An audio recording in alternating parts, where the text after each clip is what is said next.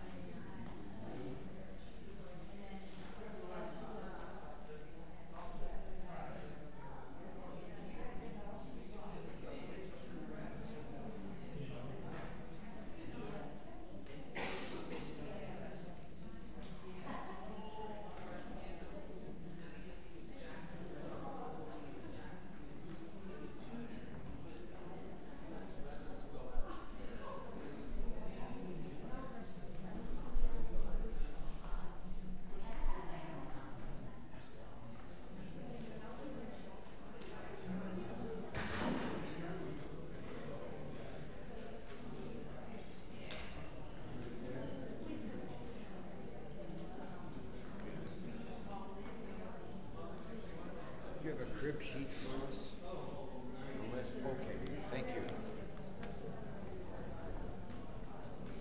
Yeah, here it is. Okay.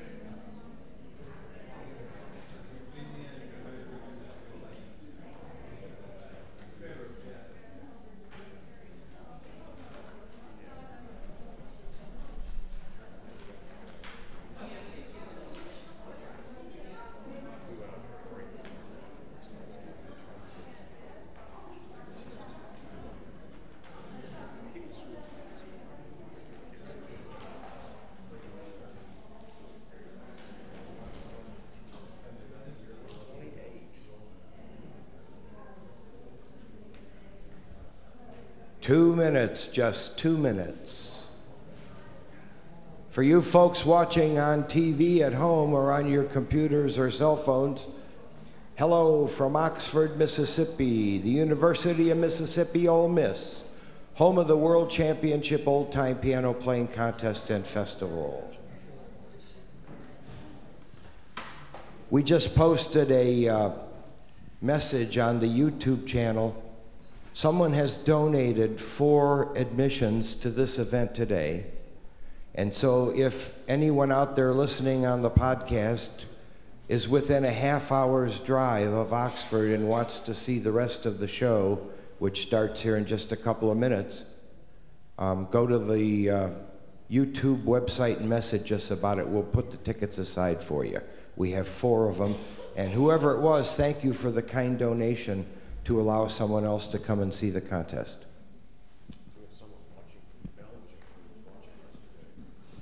Hi, Belgium. Yeah.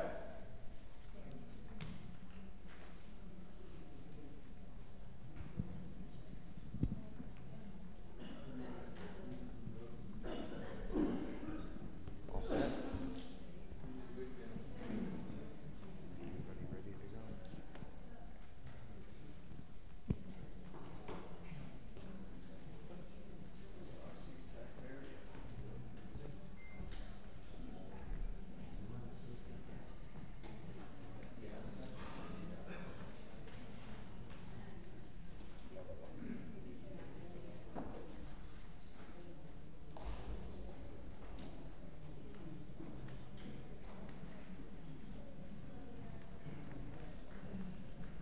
Good afternoon, and ladies and gentlemen. Welcome to the 43rd annual edition of the World Championship Old Time Piano Playing Contest and Festival here in Oxford, Mississippi, on the grounds of the University of Mississippi. We'd like to welcome all of you who are here in person or watching around the world. Hello, Belgium. Usually, our event is not on Memorial Day exactly, as is the case today, but it's always celebrated, and this is our 43rd Memorial Day weekend that we've set aside for live music. So, in keeping that with that, would you all rise, please, that are with us? Remove your hats and welcome.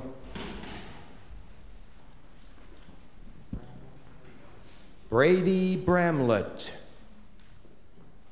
who's going to lead us in the playing, singing of our national anthem.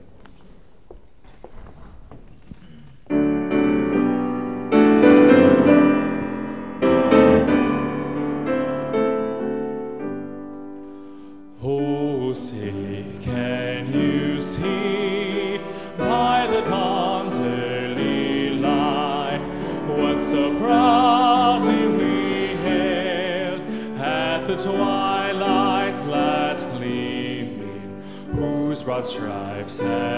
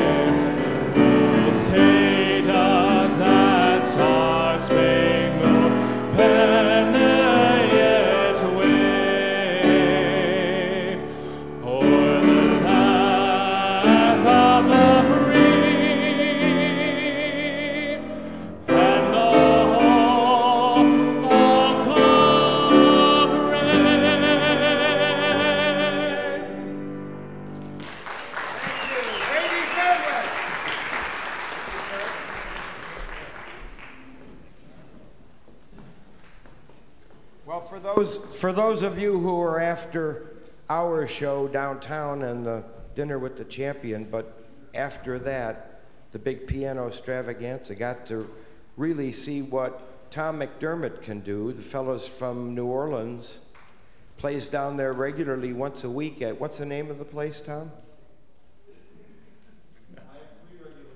Three regular gigs. Boopas. Bupas. Chickie Wah Wah. Three muses, and you're making those names up, aren't you? Oh, he is. so if you want to go see Tom in New Orleans, there's the spots. Paul Asaro, our second judge in this contest, is stationed, headquartered in Chicago, plays most of his gigs within a small regional area around Chicago with the Fat Babies, a great band. Sings and plays piano as well and uh, accompanies Beulah Lee, who's sort of a 30s style uh, jazz singer who stu- still uses one of those old microphones that's suspended with wires in the middle. Makes a real authentic broadcast. And Brian Wright, our third judge, all the way from Pittsburgh, Pennsylvania, head of Rivermont Records. He has a doctor's degree. We say doctor to him when we see him. Dr. Wright. I've heard of Mr. Wright, but there's Dr. Wright right there. An accomplished piano player and uh, a, a competitor in this contest several times. So thanks to each of you for agreeing to be with us. It's not an easy job. And another not so easy job, tallying up the scores and turning on the light bulb. She's getting better at that. Barbara Flack, all the way from Plainfield, Illinois. Thank you, Barbara. And this is my companion in crime for this job. Four time world champion, old time piano player, hails from Iowa and Michigan and currently Sacramento. And now, uh, would you welcome Adam Swanson?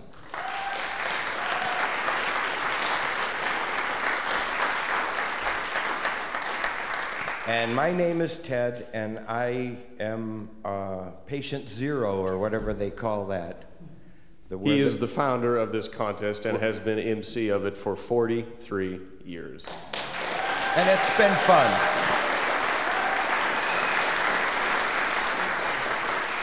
Now I want our piano contest veterans, Faye Ballard, who's won. She not only competed, but now is the contest coordinator. She'll be shuffling people behind the scenes.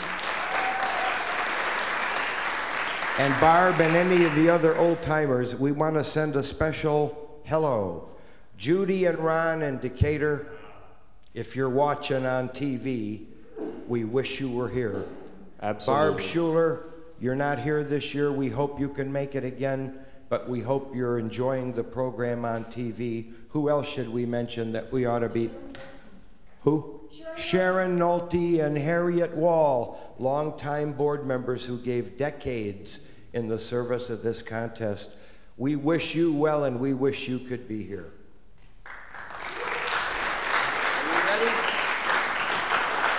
Here's how this is going to work 10 people survived yesterday's hefty competitions that went on all day and are coming back in the top 10 to compete for the final five positions. Each of these contestants will play two selections, and our judges will take notes proficiently, hopefully, and profusely.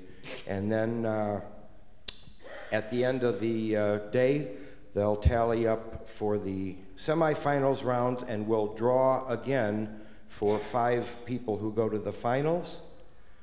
They'll play two more tunes and then each of those people will get cash for their trip down here. And one of them will become the 2017 world champion old time piano player. Every time that Barbara Flack turns on the light, that means we should stop talking and bring out the first contestant. And oh, you know what I forgot? I almost forgot all about it. Thank you. Nathan Beasley was crowned in his last eligible year yesterday in the junior division as world champion old time piano player. He's going to come up and do an encore celebratory tune to celebrate his being selected. Come on, Nathan Beasley. all the way from Eldorado, Illinois. That is right. Tell him anything else you'd like to. You have 30 seconds. 30 seconds. Okay. Then so we have to go to a commercial piece I'm break. Play. Okay. I'm going to play uh, a tune by Lucky Roberts called Pork and Beans. Yes. That's Pork and beans.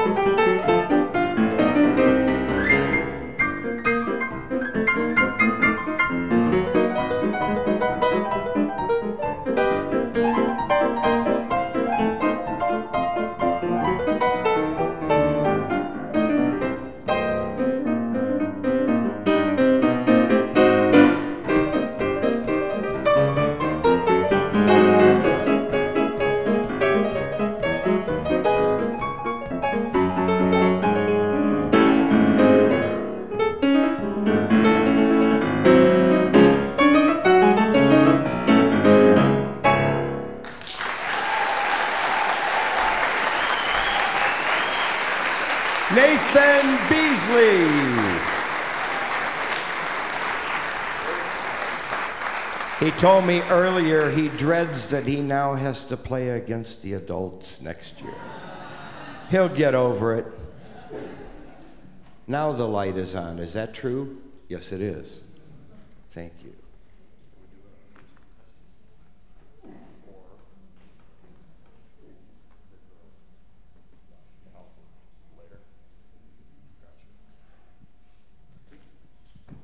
Would you welcome back the sweet Olivia?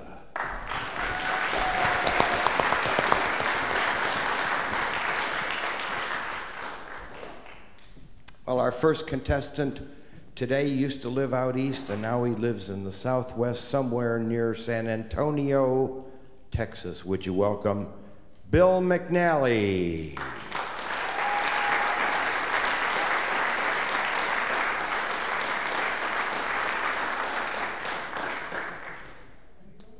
Bill McNally. oh, Bill, Believe me. you may still be in the There is a Bill. McNally. And I saw the suit he's dressed in, and for us in the astigmatic class, when we see things that look like eye tests that vibrate, that's what a suit did to me this morning when I saw it. He'll be here.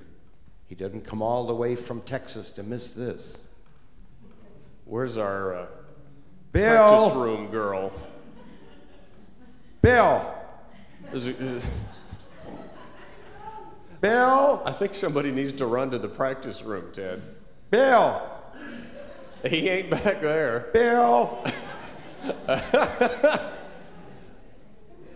Oh, I hate it when he leaves me up here by myself. Bill. Bill.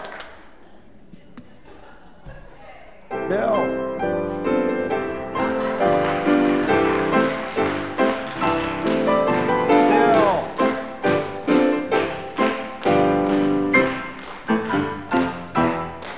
Bill.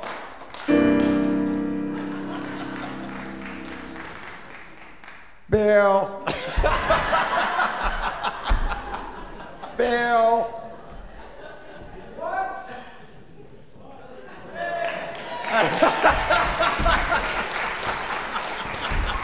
Ted! Ted! Bill. Bill. Bill. We're keeping the one with the stripes. suit. Bill McNally, he was uh, down the hall playing three, Welcome back. three card Monte with somebody. it looks like it, Bill. Welcome back to the stage. All the way from San Antonio, we already told the people your whole biography before you got up here. If there's anything you'd like to add, Well, I mean, I only had two sentences before, so yeah, that was enough. That was enough. okay, that's enough. What are you going to play for us first? Piece that was originally written in 1928 for a musical that ended up never being produced and then was slotted into Girl Crazy in 1930, Embraceable You. And a little sidebar here um, our, our wonderful host, Ian Hominick, was a student of the legendary Earl Wild. And this is Earl Wild's transcription, for which I had the good fortune of playing this for Earl Wild once. And boy, did he pick me to shreds. So I kept practicing it, but it is such a wonderful, wonderful piece. Embraceable you.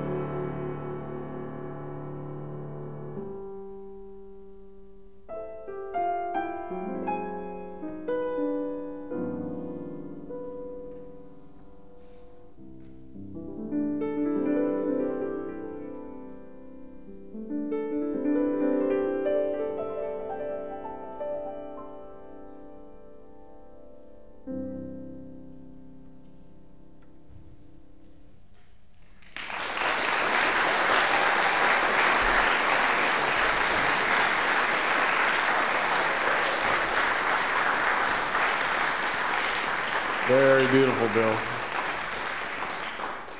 Okay, we have, Found it. I had s- small child had run off with me? my microphone. I told you, you look like an eye chart test, one of those things that vibrate. Anyway, I've disoriented. those Ted. are railroad stripes, if I there ever was. He became disoriented. Or you work at the Steak and Shake, one of the two. anyway, what's your second tune going to be? Well, it's a tune from 1902. The fellow started to write it, then finished it in 1909. Um, tune by Percy Grainger, an Australian composer who at the time I believe was living in New York.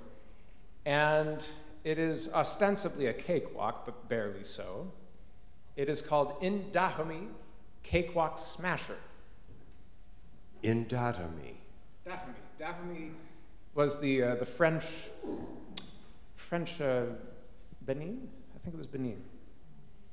Well, when you do the Benin. you, you're not saying in Dahomey, the country. Yes. Oh, in Dahomey. Gotcha. That was a big Broadway mu- musical. Now I in- In, understand. the early teens with Williams and Walker. Now I get it. Little. In Dahomey.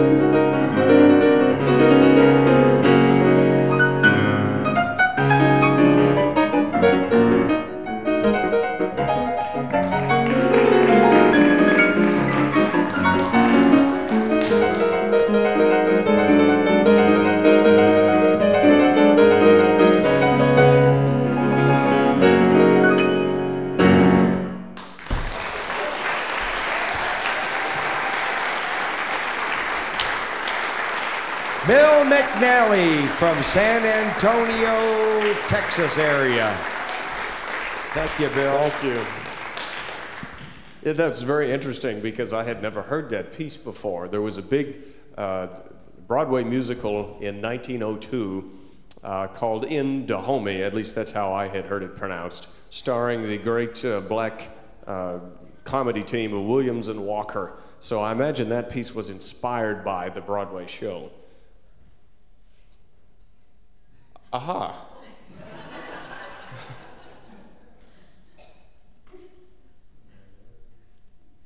Aha was less than I expected. Well, let's talk about some music from this country, shall we? We're going to do a couple of George M. Cohan songs. George M. Cohan, yeah, three of them. George M. Cohan was the only American songwriter who ever got the Congressional Medal of Honor. Uh, FDR presented that to him shortly before Cohan died. And it was, I don't know exactly when he got the award, probably about 1940. And 42 is when uh, they made the wonderful movie Yankee Doodle Dandy with James Cagney, of course. We found out once and for all that he wasn't just a gangster guy. He could sing and dance. Oh, He Jimmy was Cagney quite was the talented guy. Very talented. Uh, he was in musicals back in the 30s uh, for Warner Brothers. Talented, very, very good. Uh, he's in the movie uh, Love Me or Leave Me with Doris Day. I watched that not long ago. Well, Anyway, we, we felt these would be three safe songs, cons- considering the rules don't allow you to play patriotic tunes or religious tunes. We have a chance to well, give my regards to Broadway is really not patriotic, but it's so Americana. It's all about New York. Up, you got to turn your phones off, folks. There are severe consequences. Everybody sing along. Give my regards to Broadway. Remember me to Herald Square. Tell all the gang at 42nd Street that I will soon be there. Whisper of how I'm yearning to mingle with the old time throng. My regards to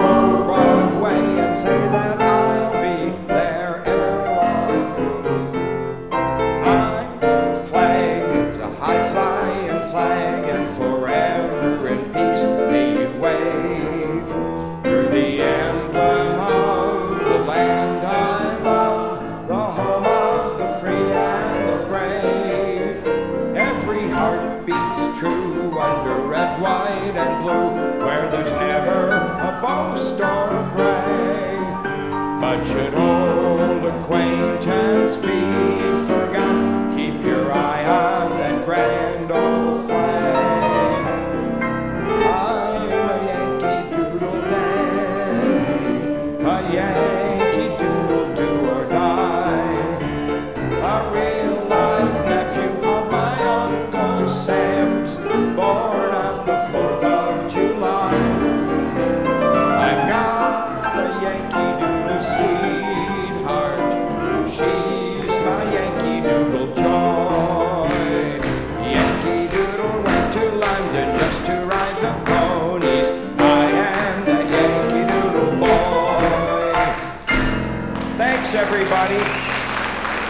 fun to sing along, isn't it?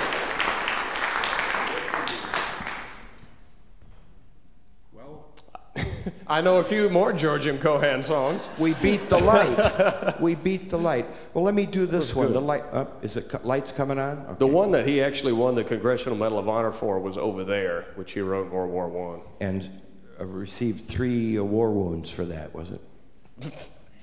no, he didn't. Even in the war. They Olivia, We are ready. applause, applause, applause.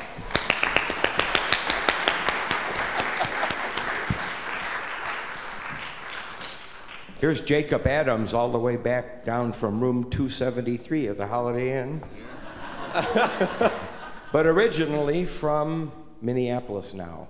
Tell us a little bit about yourself and then tell us what you're going to play first.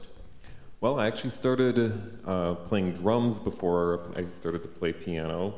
Not everybody knows that. And that eventually segued into piano. Um, this is my fifth time being in the contest, although I haven't been in the contest since 2013. So it's good to be back. We're glad to have you in My Oxford, pleasure. Mississippi. What are you going to play first for us? Well, I know we just heard it, uh, but it's such a beautiful song, I don't think anybody's going to mind hearing it again. Uh, Gershwin's Embraceable You. Okay. From Girl Crazy, 1930. Embraceable you.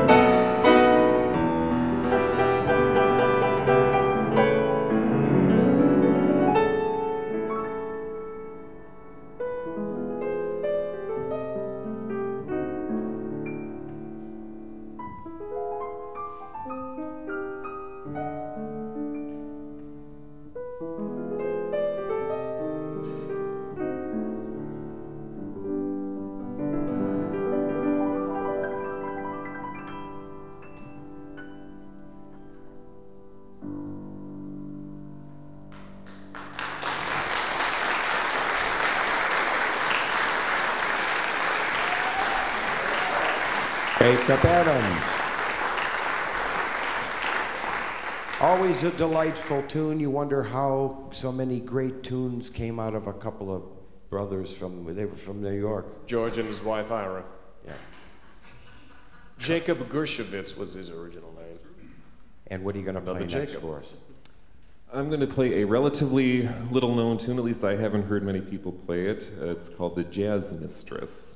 Jazz Mistress? That's the one. What year do you have? Is it that? Billy Merrill?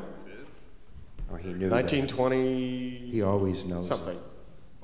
Okay, 25.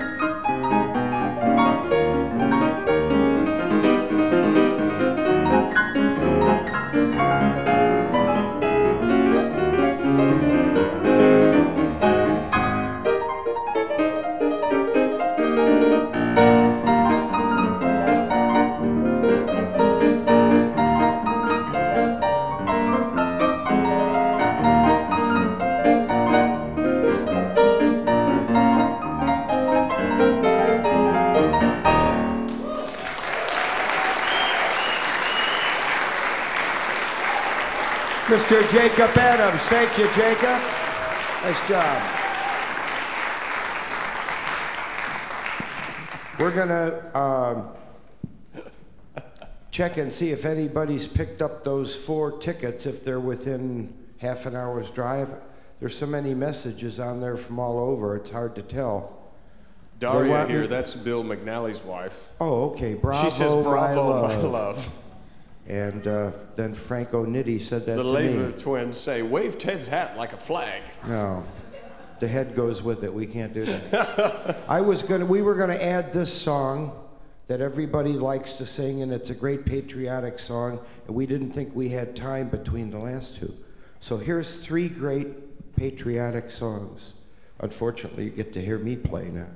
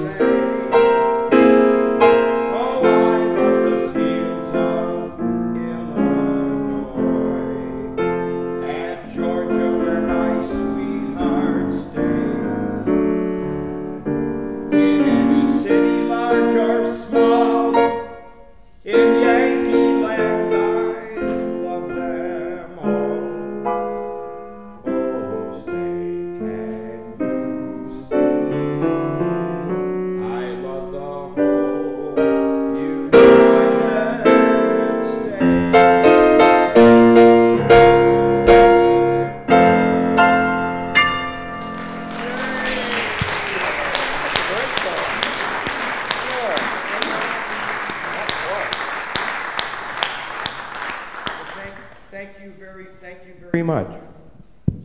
The slow electrons today. The light is on. Ian Hominick says three tickets left. Okay, well, Somebody must have taken one of them. ta-da!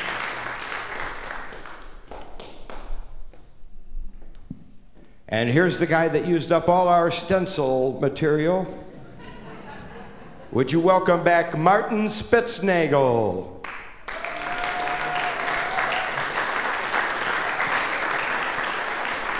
Hi, Marty. Welcome back. Welcome back. Did you live in Pittsburgh all your life, in, and now you're living there, or were you somewhere else? Yes, I was born and raised in Pittsburgh, and then uh, my wife and I moved to the D.C. area for about eight years, and then uh, Back. Yes, and we had a child, uh, it's kind of like March of the Penguins. A little humming beacon went off, and we're like, must be near grandparents. Must be near grandparents. So we're back in Pittsburgh and loving it. It's a wonderful town. Plus, you're much closer to Kennywood Amusement Park. yes, that's right. My son were. is a big fan of the Jackrabbit. Is he? That's a great little coaster, three little, and you, your hat flies right off. I lost two there myself. Marty, what are you going to play for us? for- Well, I'd be uh, delighted to play for you. I'm, um, my first tune's going to be a standard Can't Help Lovin' That Man from Showboat. And uh, the, the story goes that uh, when the song premiered, the audience wouldn't stop clapping, so they had to sing it again in the middle of the show. Because, of course, in those days, you know, you couldn't just pop your iPod up and, you know, play it again. Uh, so it's just a beautiful song, uh, and I thought I would um, play it for you. And what I love about it is that it's, it's so sublime. It's a light opera. It's classical. It's beautiful. Um, it's operetta, yeah, but it's but it's uh, also soulful, and you'll hear those seventh chords. So hopefully, I'll try to bring out the sublime and the soulful. We'll pass out Kleenex boxes. Thank you. Can't help loving that man of mine.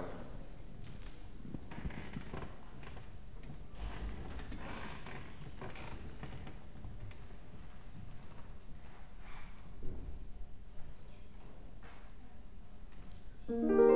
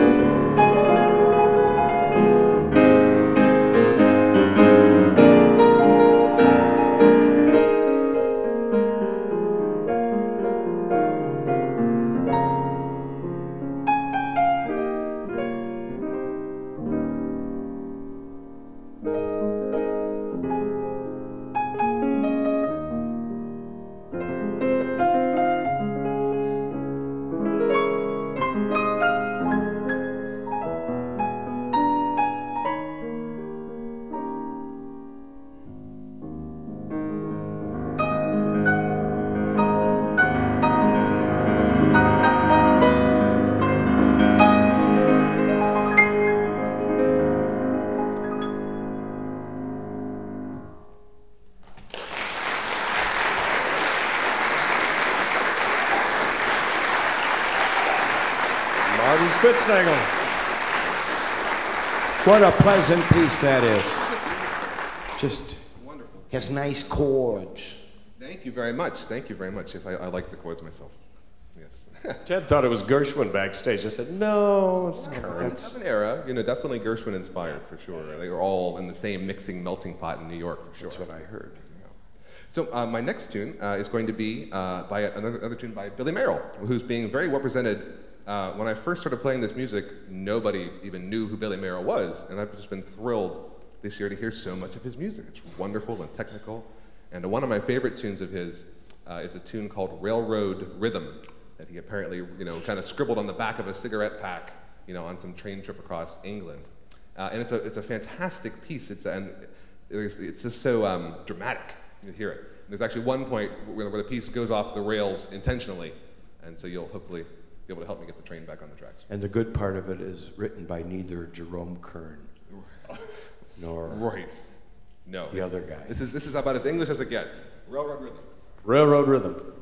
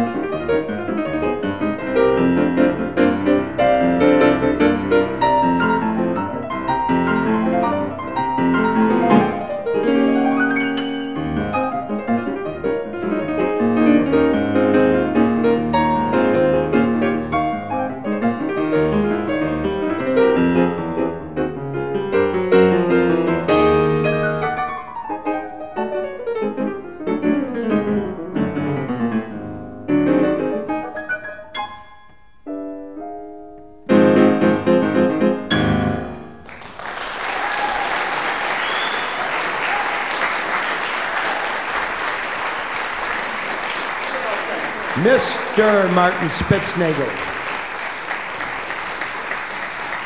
Martin all the way from Pittsburgh, boy. Billy Mayerl.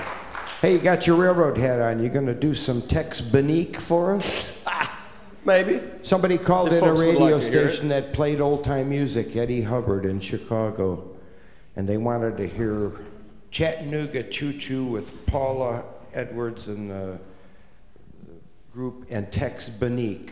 Well, it was Tex Beneke. And Eddie Hubbard was clear in his correction of that person. Great old tune written, can't be played in the contest because it's too new, believe it or not. 1944. Glenn Miller tune, Chattanooga Choo Choo.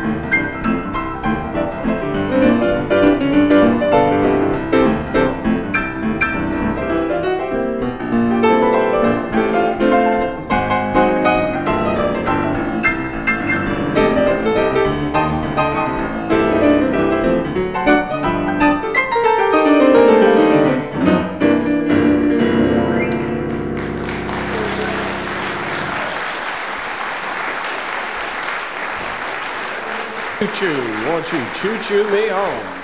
Well, is it true that uh, Glenn Miller recorded that first with the orchestra, You know, and then he was uh, in the accident? He was lost in the English Channel, and then That Tex was the next year. That was recorded in 1944. Well, it was written for the movie Orchestra Wives by Harry Warren. Uh, Glenn Miller's orchestra with Glenn Miller before Tex Beneke took it over was in the movie. Uh, then the next year, Glenn Miller was lost at sea.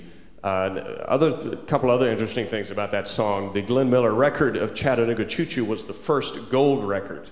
Oh wow! Uh, that was it wasn't the first record to sell a million copies per se, but it was the first one certified they gold. named it. Okay. First yeah, one. first Wow. one they certified gold, uh, and I've seen that record. It's now at the Glenn Miller uh, Museum in Colorado somewhere. Well, didn't Tex Beneke with Paul Kelly and the Modernaires do a more updated version? yeah, I'm later? sure they did. That was a big Um, hit. yeah, they probably hit. And Harry hits. Warren, who was a big songwriter for movies in the 30s and 40s, very important songwriter. He, he did not win the Academy Award for that song, but two years later, he won the Academy Award for another train song on the Atchison, Topeka, and the Santa Fe. Oh, yeah. from the movie Harvey Girls with Judy Garland.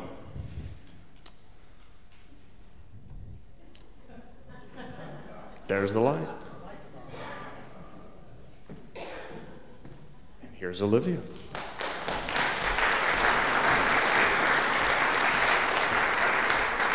Jimmy. Would you welcome all the way from, well, well let's find out. Boston, Jimin Park.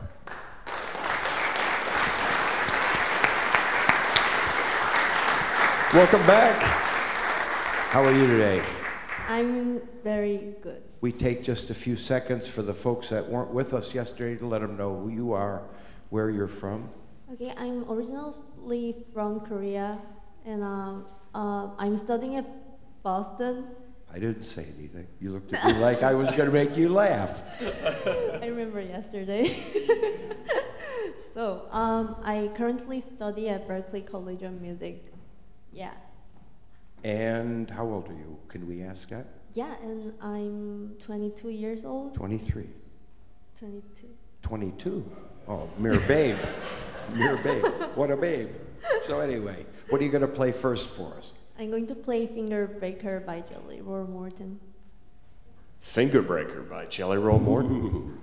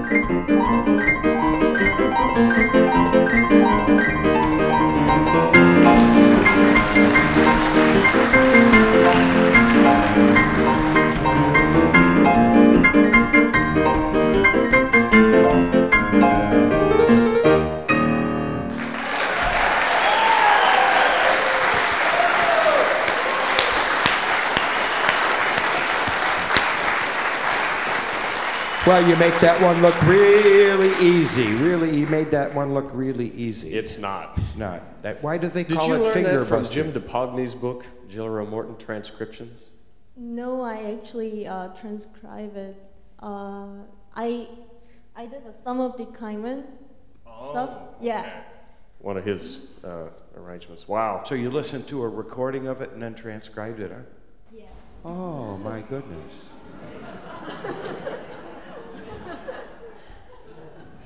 Yeah, wow. Uh, um, I only know one other person that did that, and it was John Harmon, who has such a sensitive ear that he took tribal recordings from the middle of Africa and actually wrote them down as musical, what the sounds would be by listening to the recordings a bar at a time. Beyond me. He'd gotten to most of the bars in Wisconsin by the time he was finished with the deal. Jimin, what are you going to play next? Now I'm going to play just one of those things. Bye. Just one of those things. By Cole Porter, who is not Jerome Kern Or Gershwin. or Gershwin.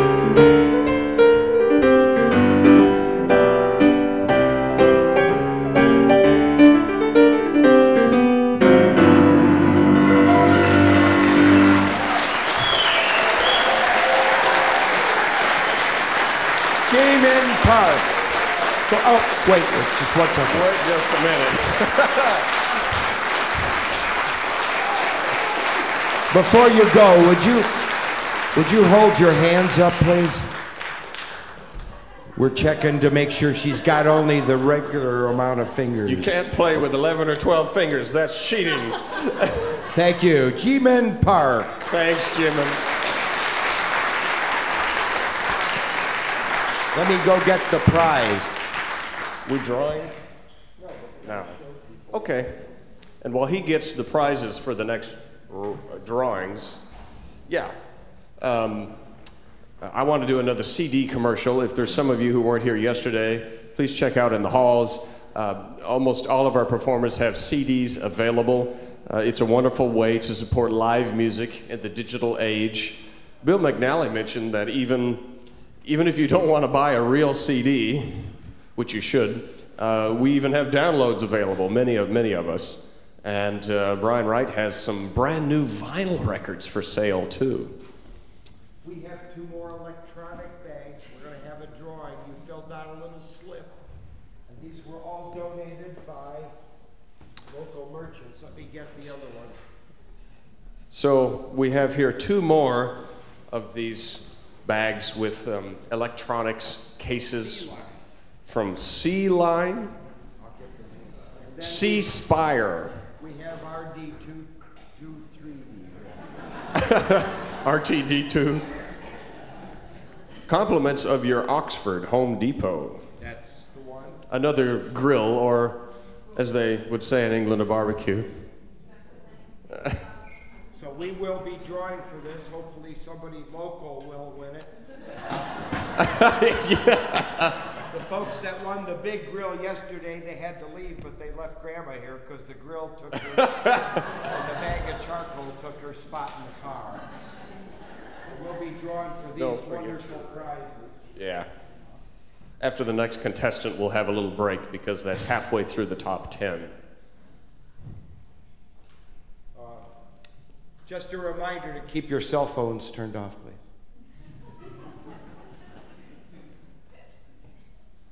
Want to change hats so you can play something else? Yeah. I'm running out of train songs. Oh, another hat. What's this one going to be? Oh, watch it. Sort of patriotic.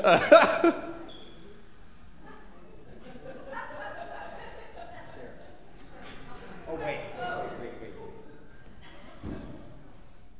Sorry. This might be a little. There you go.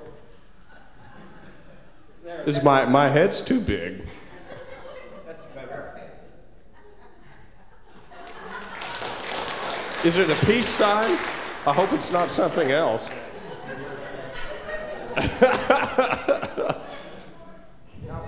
oh, I'm watching myself on the screen. Why don't you play uh, Stephen Foster? Ah, okay. Stephen Foster, certainly American. Oh, wait, the light came on. Just w- keep wearing that hat. I'll save it for the next break after the CD sales.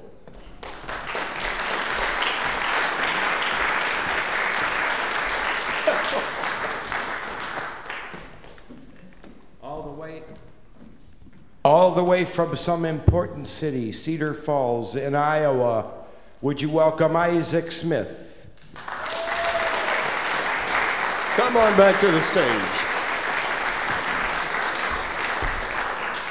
Do folks kid you and ask you for a cough drop, being that you're there's actually three Smith brothers in Well, your family? I tell you what, um, I bet you'll never guess my roommate's name this year in, in college. Luden. No, Smith. that's half right. Oh. Guess his first name. No. Well, it's it's about the most generic name you can come up with. John Smith. Close. Starts with a J. Johannes. Jacob. Jacob. So we had Jacob Smith and Isaac Smith in the same room. So if you see any uh, like billboards or something, like a light up thing that says Smith Brothers cough drops. You, there's three Smith brothers, but four siblings total, right? Yes. You have a sister? Yeah. She musical? She is. She plays the piano and sings all the time. I think, Wow. yeah, Well- she's probably got the best ear out of all of us because she grew up with it. We'll see her one year, hopefully, Yeah. here playing the piano. What are you going to play first? Well, I tell you what, I have to tell you a story first because I had brought something on stage with me. Uh-oh. So, does anyone have a beagle puppy? Anyone in the audience? Not yet, but it's early. That's my family. That's why. Oh. So we we just adopted a beagle puppy, and uh, you know how they call dogs man's best friend, not musician's best friend, because they don't like the piano. Is that what you're so this playing? is no, this is this is yesterday's music, but she left me a nice gift, and it got to the point about the last two weeks as I was preparing for the contest, I would sit down and play three notes, and she'd just come over and start howling and barking and like jump on me and bite my hands and. Well, some of the folks here So, may yeah, do if- that if you- today. The howling and biting your hand part, Yeah, so if you want me to feel right at home, and then howl during the piece, and Okay. okay, yeah. What's it going to be? You better. Yeah, yeah, I better get to the. The dog ate my homework isn't to homework. work. Uh, first, I'm going to be playing uh, Willie Lion Smith's "Echoes of Spring." Uh, it's hard. It's always hard to tell with these pieces when they were actually written, but um, what I found, 1925 was about the first time that it was performed, um, and he kept playing it for a while, and so I couldn't tell you an exact date. But Okay. Uh, Willie Lion, Echoes of Spring." Echoes, echoes, echoes, echoes. Yes.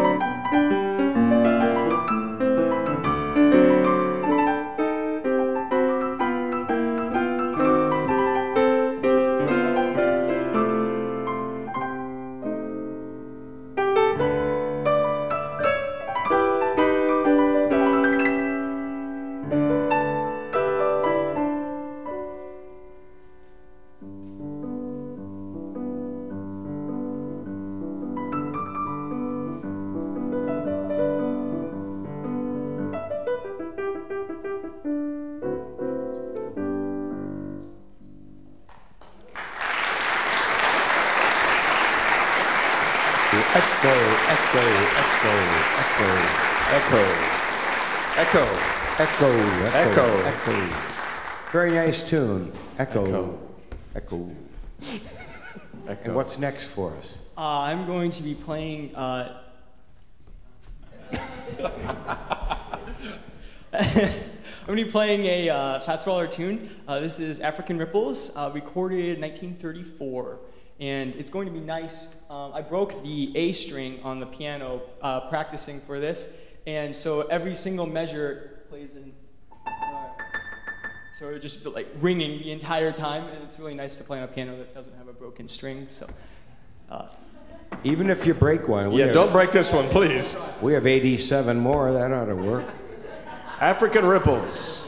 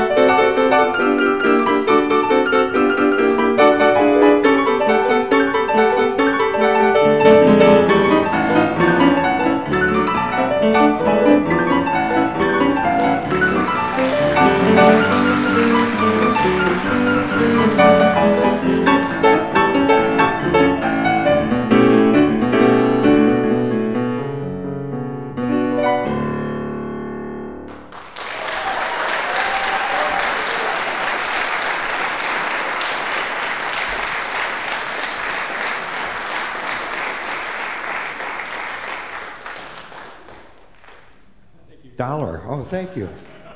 I've sort of the Peter principle. I've graduated to my level of incompetence. Hat check girl. Well, thank you. Break time. It is break time, folks. We've seen five contestants. We remind you that our visiting performers have lots of CDs and things to sell. And he's going down to his table right now. We have about 20 minutes before we reconvene for the second half of the semifinals. We have some snacks and some other items on our piano contest table as well. We'll see you back here. Thank you.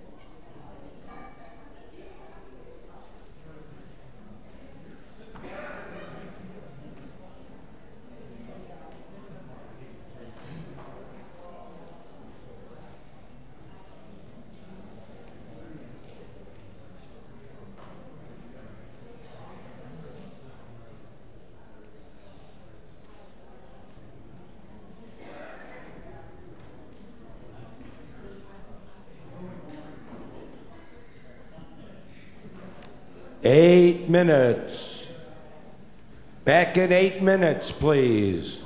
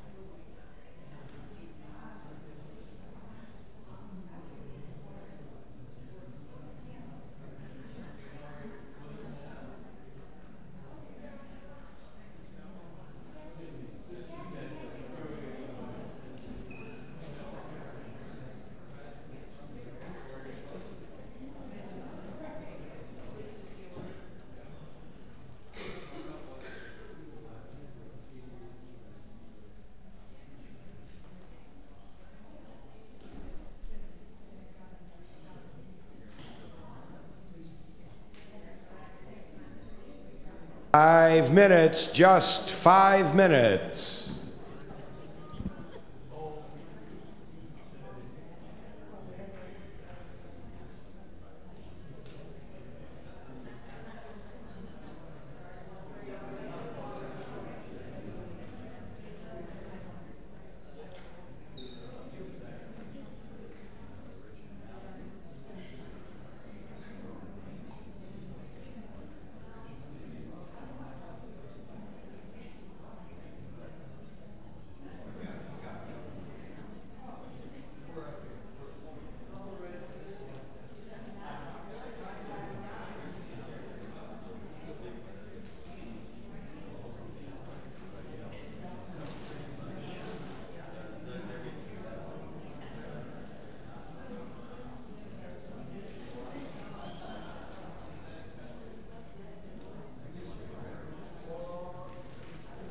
Four minutes, just four minutes.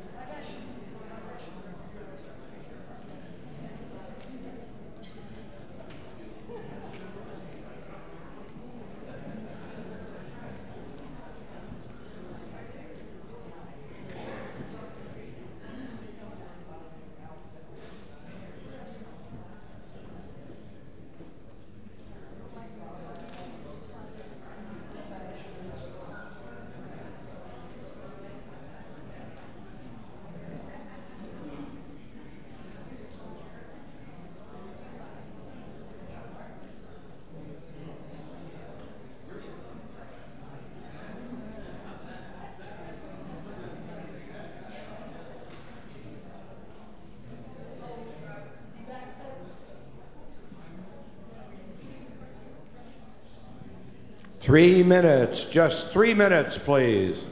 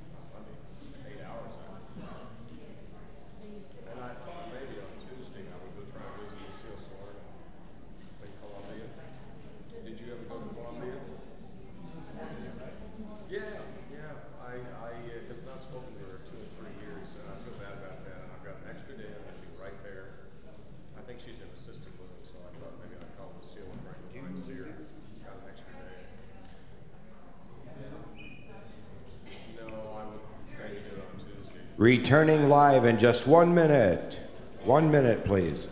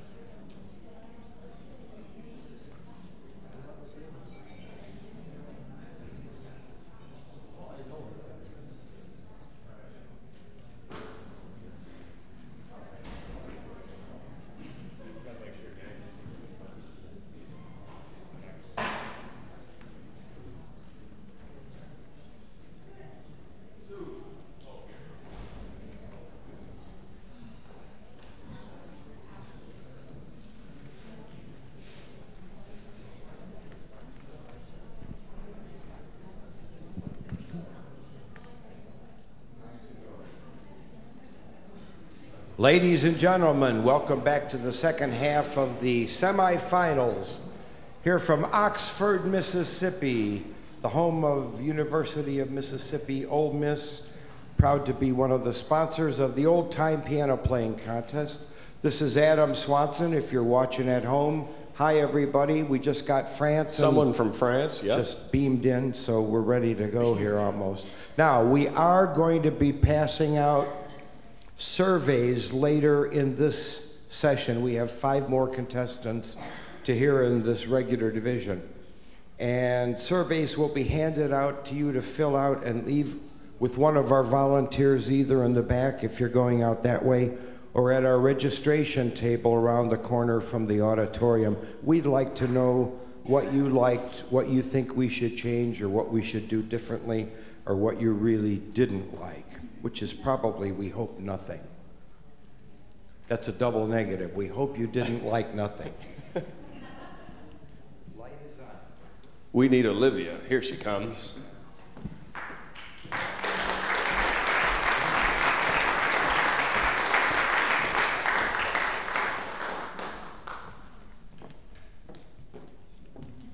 So, please welcome from Hampshire, Illinois, Daniel Savigny. Here he There comes. he is. Dan, we've got some folks here that weren't here yesterday. Fill us in a little bit on yourself and where you're from and your musical tastes. Well, I'm from a little town in Illinois called Hampshire, which is out by Rockford in Chicago, and uh, I love all kinds of music, but uh, my favorite genres are the ones of the 20s, 30s, and 40s, jazz and ragtime. Well, you certainly get a chance to hear a lot of that here. What are you going to play for us first? I'm going to start with a tune by Thomas Fats Waller. This is entitled Honeysuckle Rose. Honeysuckle Rose. From Connie's Load of Coal, 1929.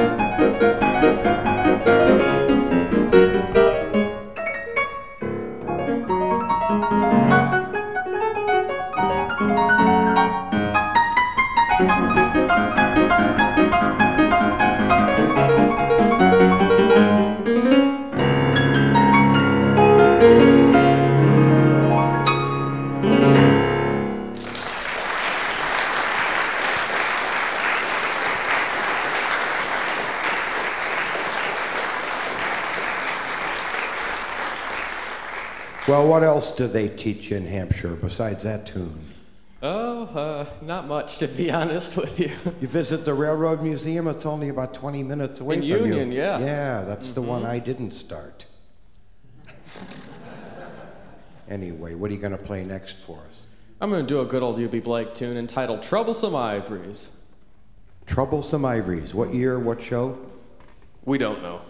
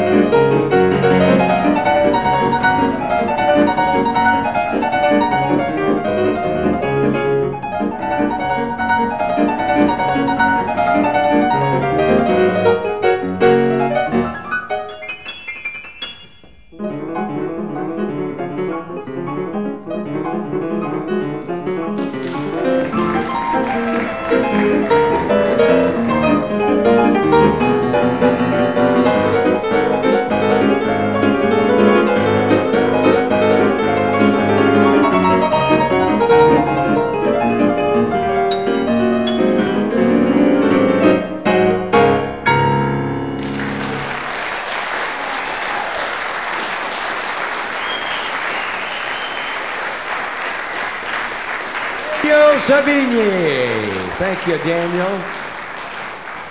Up, we forgot to do a regulation finger check on him, too, as is customary. So we have the blanks, and we have, let's give away an electronics gift bag right now. How about we do that?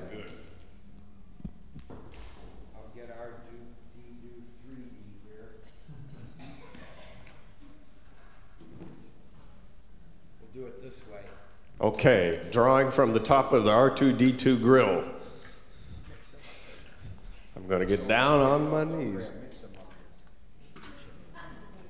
Well, don't grab and mix up, and that's the one and the same. Put all these ones from the same people.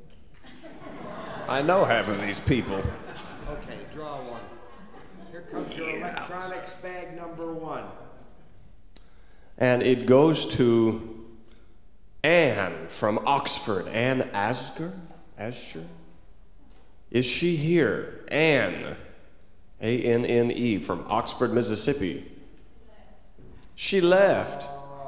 Well, then I better draw another name. She doesn't get the fancy iPad cases. Must be president to win.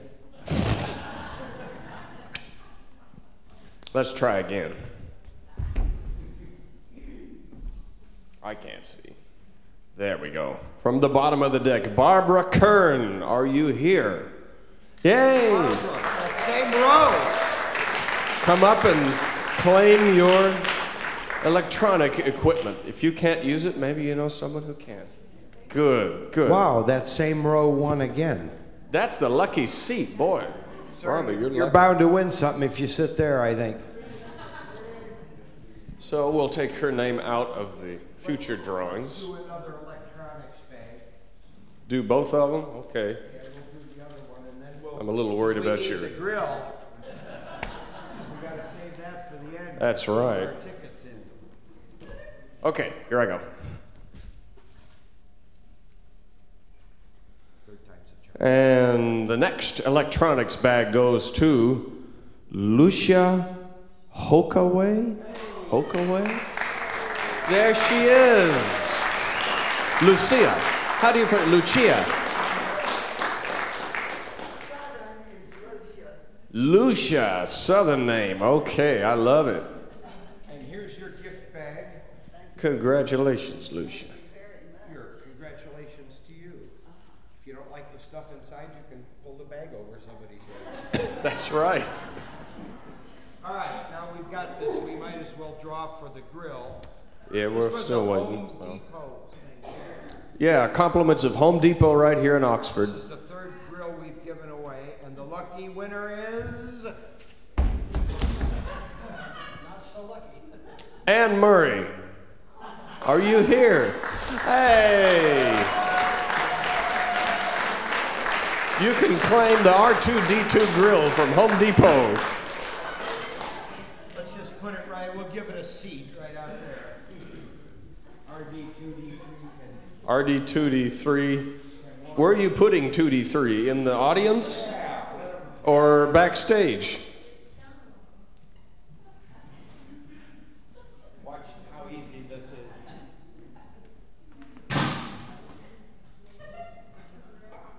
Good, not too heavy. Okay, here, here comes RD3 for you, Anne Murray.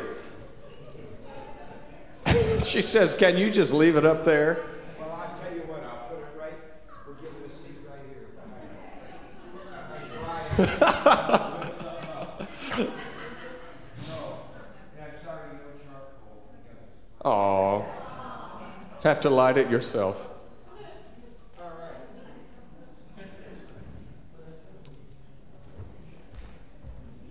Now we're out of things to raffle.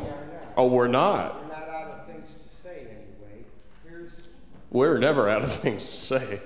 Sue Keller is having, Ah, okay. Longtime con- uh, contest friend and occasional judge, the wonderful pianist Sue Keller, has a new ragtime festival at her home near Cape Cod, the Cape Cod Ragtime Festival. It is uh, September 30th and October 1st, featuring Sue, Tex Wyndham, Dave Mazak, Faye Ballard, who's right here, Steve Standiford, and two of our contestants, Nathan Beasley and Daniel Savigny. So check that out. Cape Cod Ragtime Festival. I think there's flyers out in the hallway. They're on the contest table with the T-shirts if you'd like one or to send one to somebody.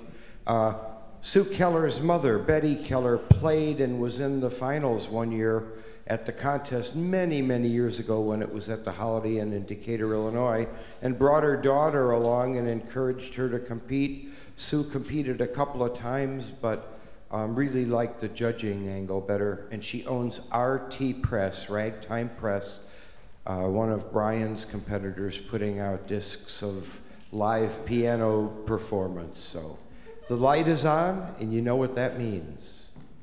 Here she comes.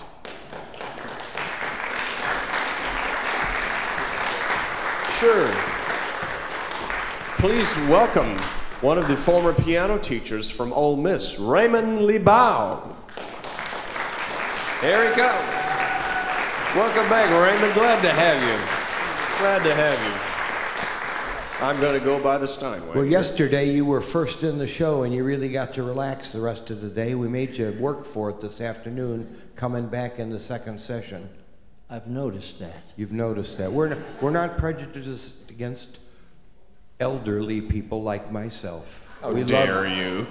We love you all the same, and we're glad that uh, um, a teaching alum from this very university where we've settled could come back and compete and has the ability to do so. Well, thank you for that. I'm, I'm thrilled to be here. Of course, at my age, I'm pretty much thrilled to be anywhere. you know what I mean? I'm so old, I remember when the Dead Sea was only sick. Oh, oh, that's good. That, now that's good. That's good. So, what are you going to play for your first selection this afternoon? Uh, the first uh, song will be written by, well, no, it will, it was written. Was written by. By Vincent Human, Youmans, and it's, uh, it's a pretty famous song. I bet most of us would know it even if we didn't know the title of it, uh, especially if you watch the Johnny Carson TV show. Because when he would deliver a comic line that no one reacted to, he would get this Johnny Carson look on his face, the band would strike up, and he would do a little soft shoe shuffle, and it worked every time we were back in. It's called Tea for Two. Tea for Two. From No No Nanette, 1924. You're probably right. All You- right, he was wrong.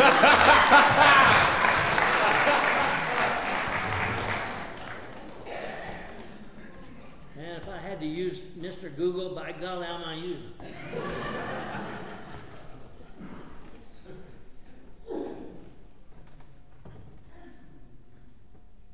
it.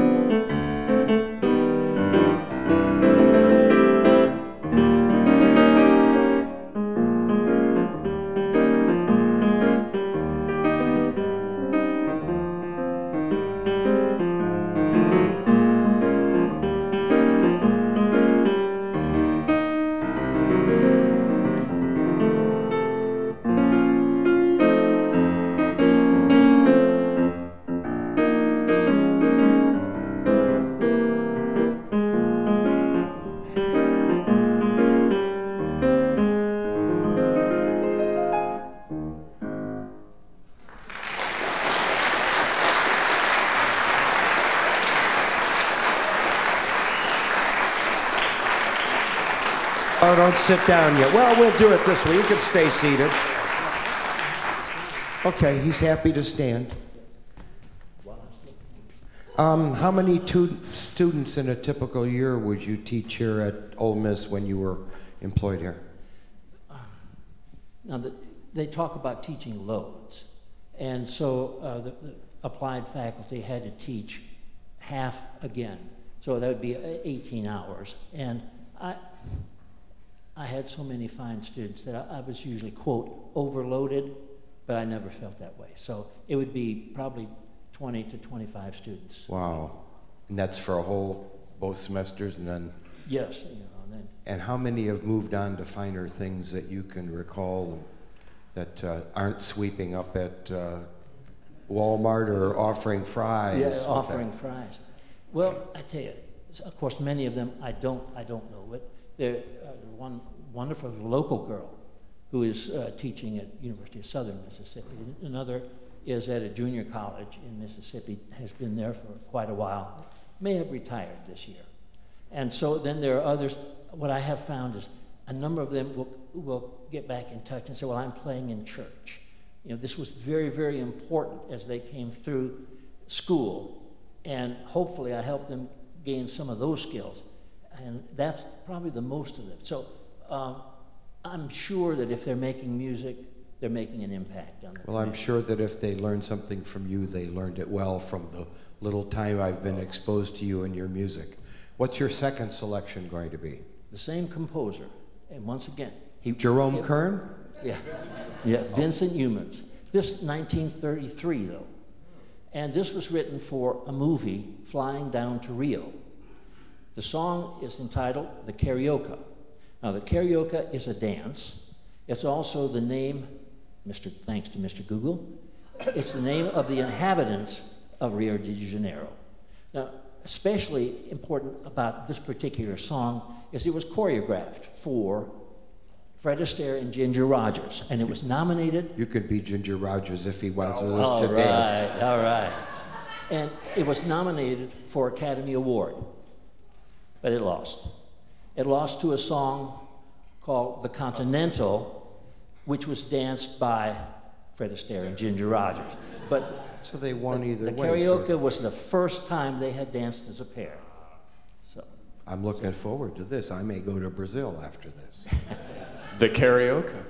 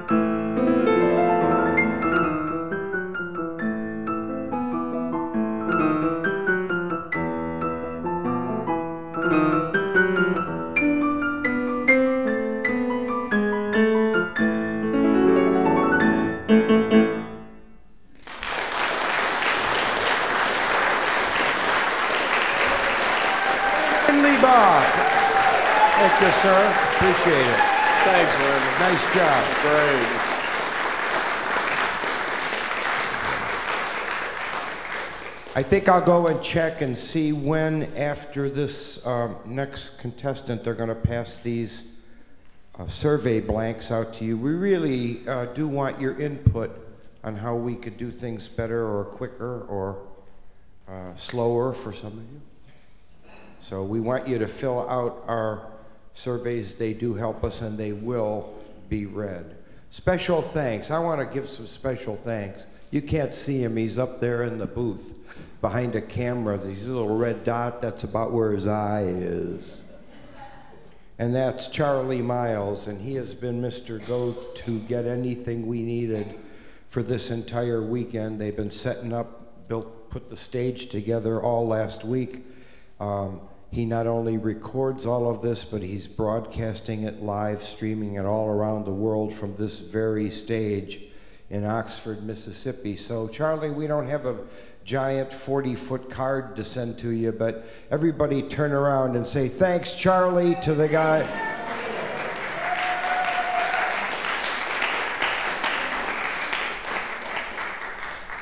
And I think I'll, uh, when the judges go out to begin their deliberations to determine the final five, who will come back and play one more round of two songs each, we'll ask, uh, you seem to like Nathan Beasley a lot. Maybe we can get him, as long as he's uh, all done competing, to come up and do another couple of encores. Please also be sure to see the folks out in the hall that are selling things. Oh, thank you. I think we're supplied with water.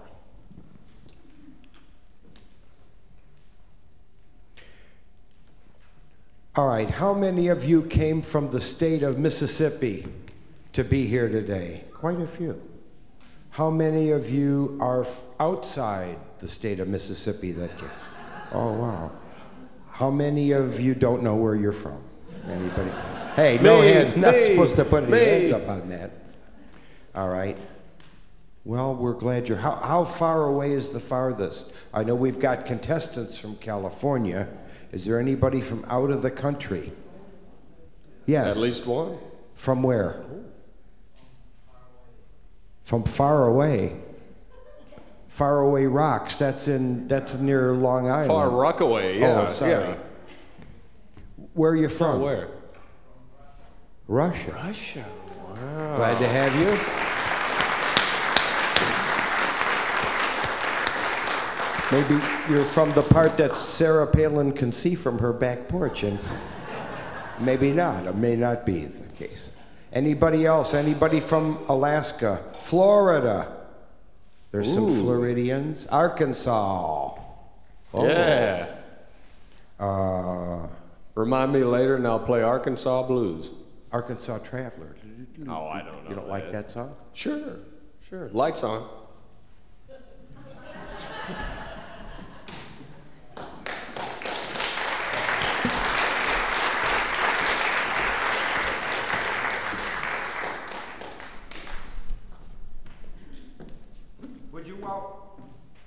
Would you welcome all the way from Ashburn, Virginia, perforated Bill Edwards?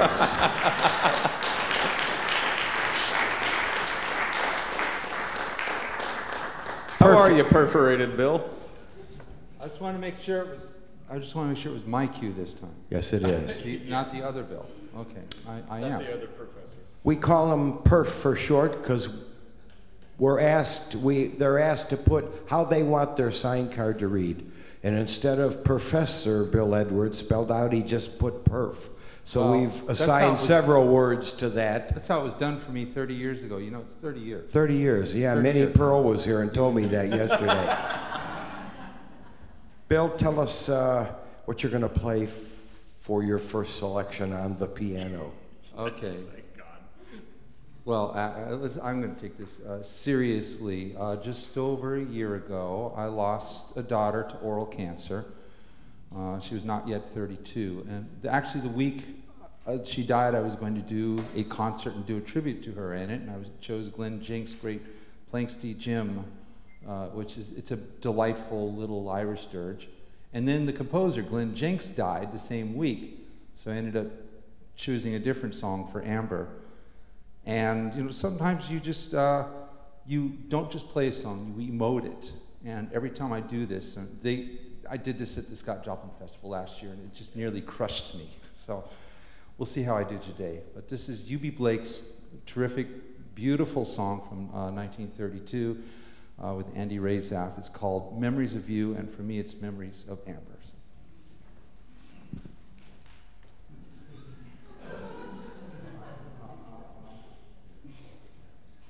I can't use this. Oh, I'll use the stick. Yeah. What?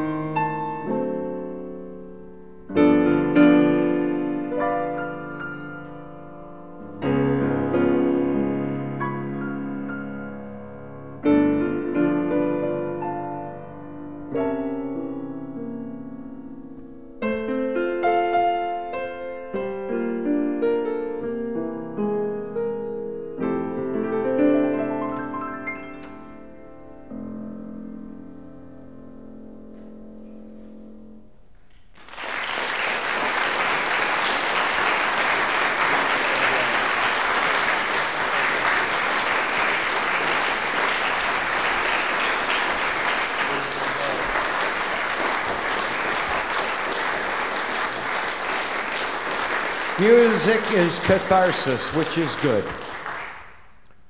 Bill will give you a few seconds here to. All right, well, then we'll go right on. What are you going to play second for us? Little Willie the Lion Smith, one that you don't hear often enough. And not that I'm going to change it by doing it today, but I'm going to try. Great 1925 piece. He did it as an orchestral work, but it was done later by Ralph Sutton, who really made it into something in the 50s. It's called Keep Your Temper. Keep your temper. Willie the Lion Smith.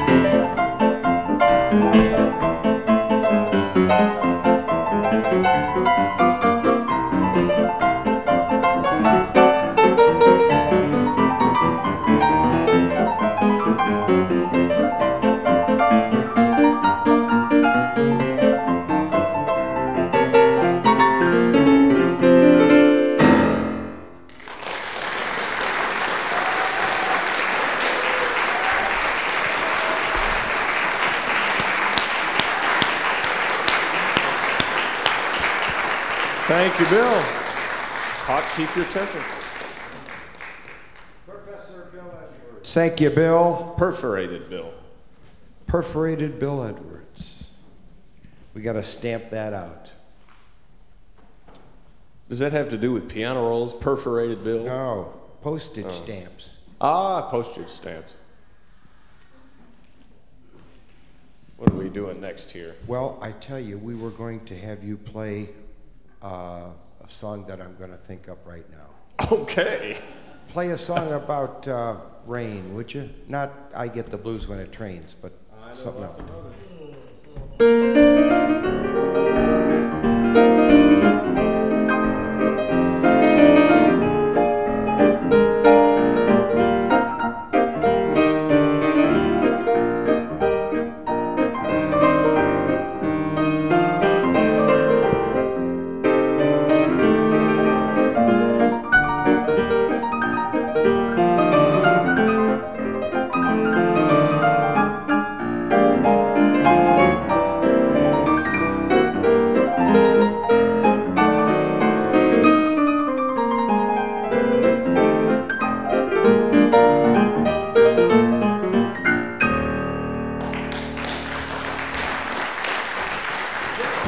Was called. I, I think it's pretty Rain, safe that I'm so nobody will be playing that in the No, contest. I don't think so. You know, we what it was? Anybody? Rain. It's so happy. I'm so happy in the rain. It's just called Rain. Rain. Rain. That's right. By Eugene Ford, big hit in the early 30s. We have categories here, and in the third round, for every year since we were at the Railroad Museum, where you had to play because of the environs we were in, you had to play a railroad song. It's, I liked that requirement the best, yeah, obviously. Look at this. Did you weave that yourself at home, or? No. My get it? grandmother used to make all my vests, and then we found a lady in uh, my hometown in Iowa where And my you folks get the live that makes material, and she picks out material for you, or what? Yeah, yeah. This lady named Sue makes these wonderful vests. Well, she I does a good them. job. She should be a pro. So we have categories, and back then it was a train song, and one year we had 32 contestants, and 24 of them wanted to play Casey Jones. You know how many times Casey Jones can die in one day? so we made I a rule the next year that you had you, Casey Jones Couldn't be played. and I've been working on the railroad were banned, and so we got Toot Toot Tootsie, and we got I'm Alabama Bound, and we got When I first started, the rule wasn't train songs. It was just that you had to play a standard, or that is a pop song or a ballad, instead of a rag. Yeah, we're not a ragtime uh, exclusively. That was that was fine, and then and then we started doing these other things like songs with food titles or colors. Or Dill whatnot. Pickles rag was. So in the one. final round, what is the rule this year? A, a song with a color I think it's title. color. So there's silver threads among the gold. Well, I hope nobody does that. There's uh, that other one. That's the kind of music Ragtime drove Blue out. Blue skies. Would that qualify? Blue skies, yeah. Does indeed. Of course.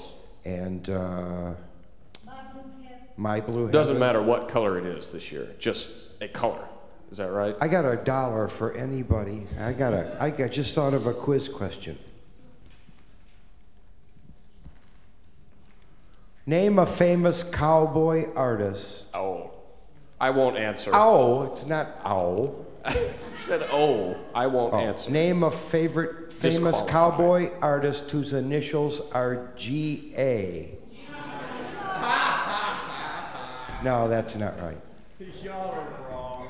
Oh, no, don't tell him. Anybody else? He, he did My Blue Heaven, which qualifies. He recorded that about 1928. I know because I. About, I said about 1928. How much closer to 1928 could you get? 1927. Because I broke my grandpa's 78 recording by that famous cowboy singing star, Gene Austin. Gene Austin. the dollar bill. I could have had that. We got the light. I'll give you here. I'll give you a dollar. Lights on. Here she comes. One more time. You know she's running out of trips across the stage. We only listened to four more songs here today before we listen to 10 more songs today. Thank you, Olivia. Here's Paul Orsi, all the way from Mission Viejo, California. Now, I want to Welcome, Paul. Glad to have you here. Is that out towards the Palm Springs end of stuff? You go to Disneyland, it just goes south about 25 miles. Well, I thought that was San Diego. That's a little That's about further. an hour and a That's half about south, an yeah. hour. So why there? Is that where you grew up? No, my wife grew up there. So when we got married, we lived other places and then we settled, and we've been there about 20 years now. It's not like the onion fields near Oxnard that you hear no, about, no, right? it used to be all orange groves. Yeah, When I was a boy, we'd go down there. Now it's all amusement parks. Yeah, and houses.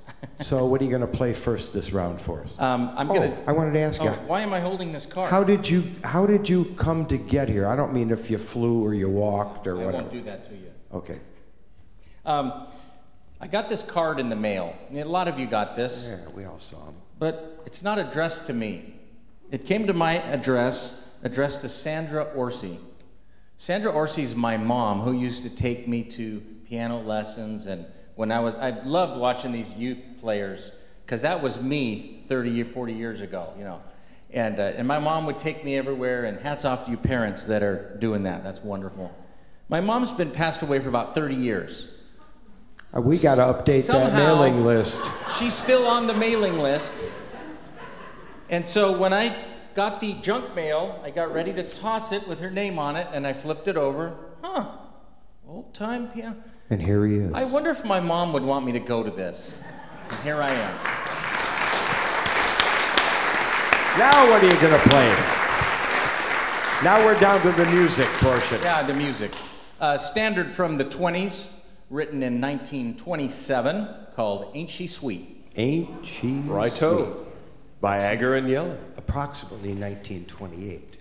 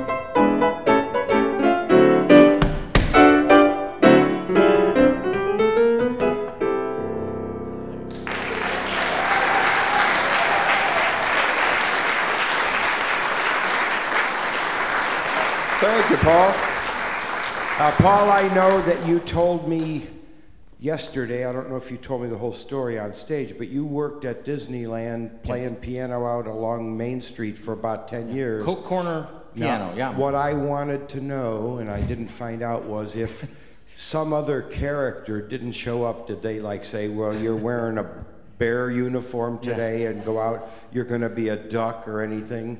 That didn't happen. But But for nine months, they started a new assignment, and it was called the piano bike. Piano bike. It was a piano mounted on two large wheels with a unicycle wheel behind it for your Oh. piano bench. Could you sell ice cream too You out of that? Hook'em Jeeves. Yes, and then you had to steer with your rear end, play the piano, smile and chew gum, and not run into anybody, not run over somebody. And watch out for streetcars and. fun.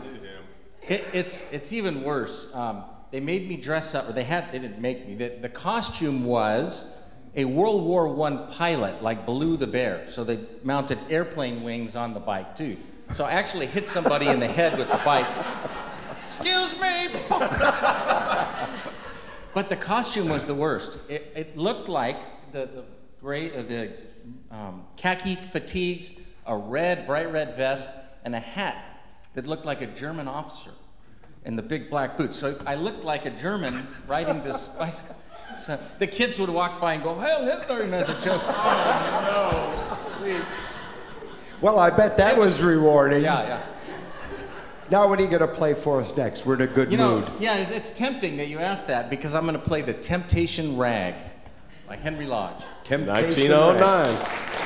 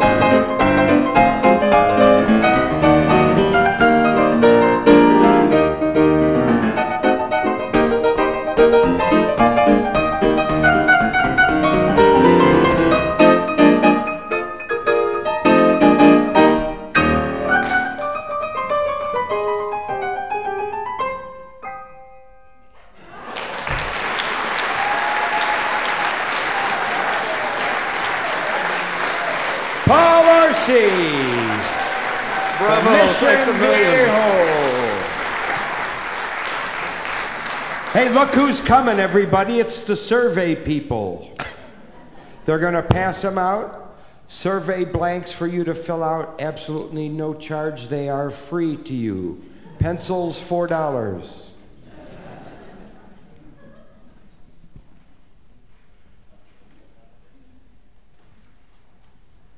And while they're passing those out, we're going to try to give a couple of dollars away here.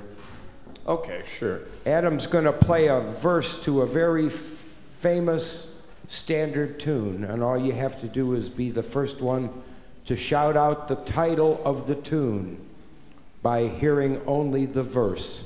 The first one's going to be a little hard. First one's going to be hard, he said, and then they get harder.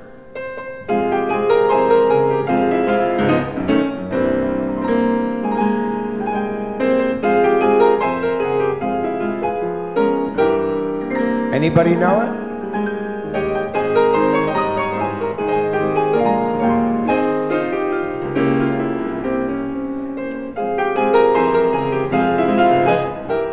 Are we to the chorus now?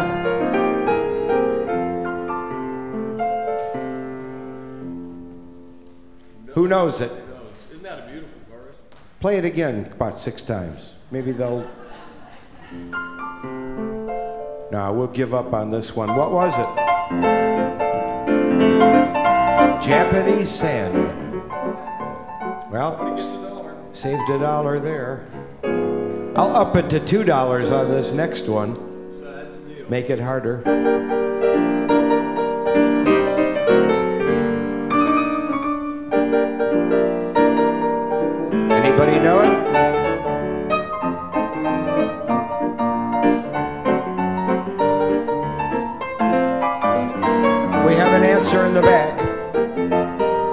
Yes, sir. What? Nathan got it. Charleston? Is that Charles? You won a trophy and two bucks.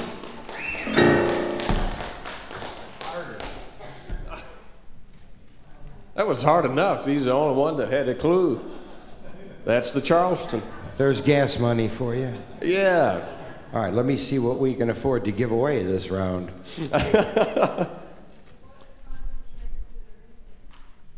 Think we can do one more? Or are people working on surveys and Well, let, um, you got one? yes, I do. Okay. I'll give out the dollar. Hand me the dollar. Hand me the dollar.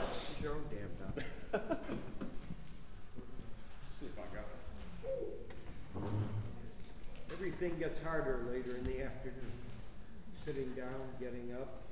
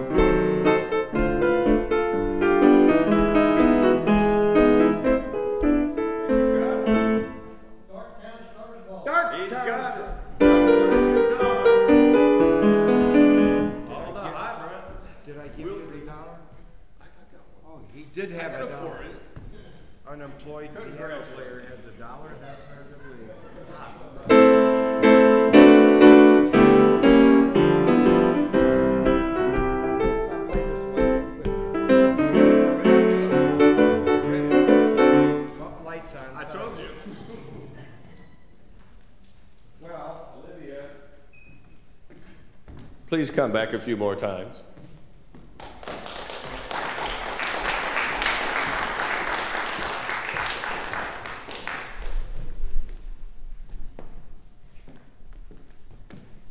Ready, set. All the way, all the way from Minnesota, Eagan, Minnesota.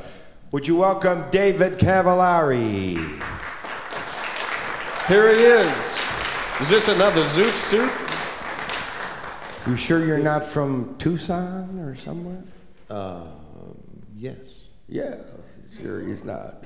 Are you a ragtime cowboy, Joe? Yes, I am. You know, there are two kinds of people in this world those who play ragtime and those who don't. And which, uh, which one kind are you?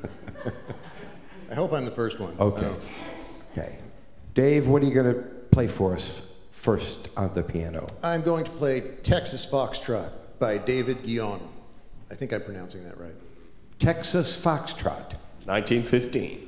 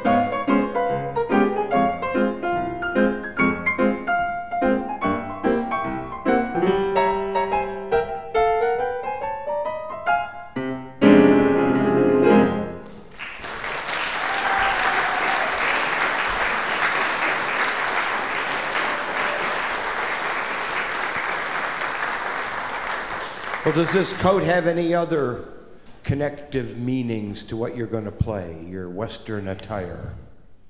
You might say so, yeah. I might say, okay, I will. His, Every place is west from somewhere. west of somewhere. Yeah. His, his attire will have a lot to do with this next song. Is that I what you said? Perhaps. Okay. We got that straightened out, I'm glad. What is this next one? Well, the question is not what is it, but how am I going to play it? And the answer is Backwards. no. No. Good, yeah, that's later. I'm going to play it blindfolded. So just give me a second to put on my blindfold here. Okay, Bandit. Must be the uh, William Tell Overture, perhaps? Embraceable You, actually. Embraceable. No, William Tell, yes. Is it William Tell? Yes, it is. Oh. William Tell Overture by Rossini.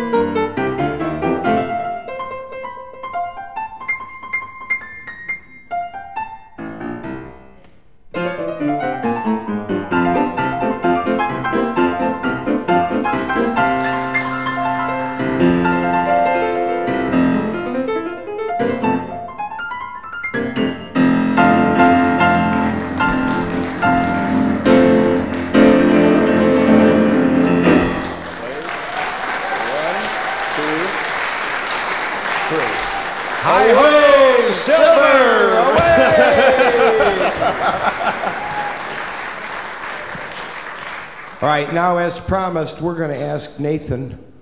He's already two dollars richer. Maybe we'll give him another dollar to come up. The world junior champion old time piano player. Would you welcome all the way from Eldorado, Illinois, Mr. Nathan Beasley? Here he is. That stand. We're going to give you this stand, and you can talk to people and tell them what you're going to play. So And here's can- mic number one. Hello. There's a stand for you right there. Awesome. I know how to work these things. Now, last time I did this, Technical I stuff. The microphone and broke. Well, let's don't break any microphones. There, you can stand up. Voila. Go to it. Okay, how do I do this? Okay. Awesome. I don't know what I'm gonna do. See you later, folks. The judges Okay. will be leaving, and they'll be coming back with the results for the final five.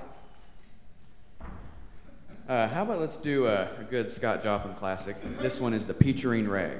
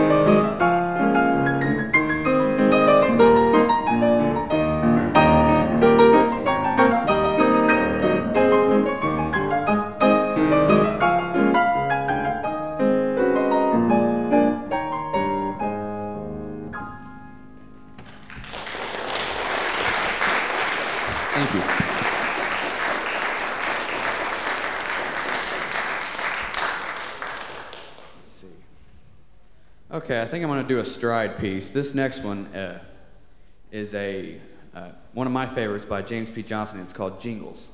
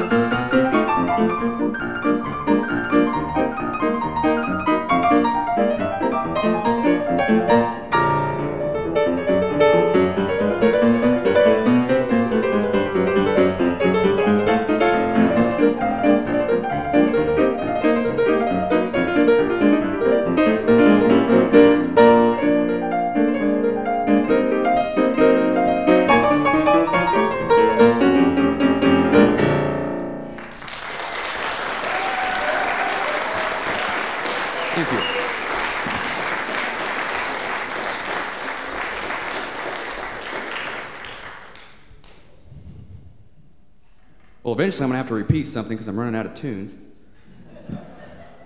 Um, King Chanticleer, I can do that one. It's been about a year. All right, here we go. Uh, Nat D. Ayers, King Chanticleer.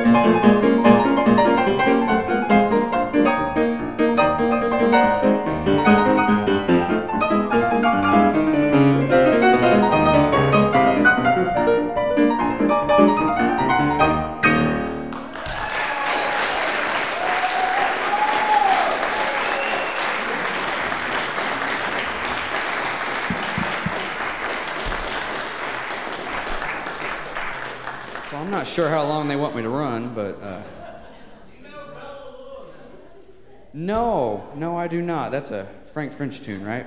Oh, I'm sorry. The five foot two. The entertainer. If I put them all together, you guys be happy? I can't. I'm not that talented. I can't do that. Um, the Charleston? Maybe. Charleston rag or Charleston?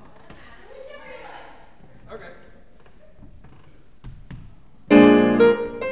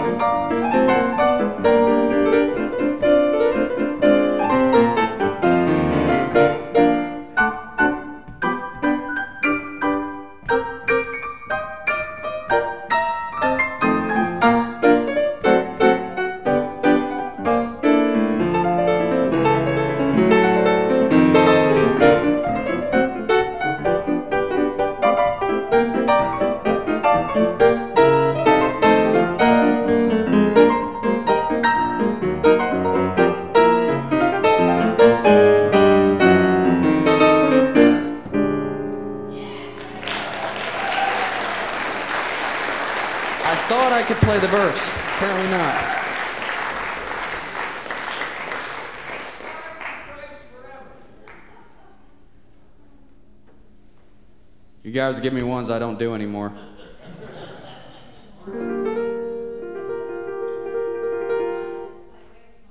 Play whatever? Okay. Um,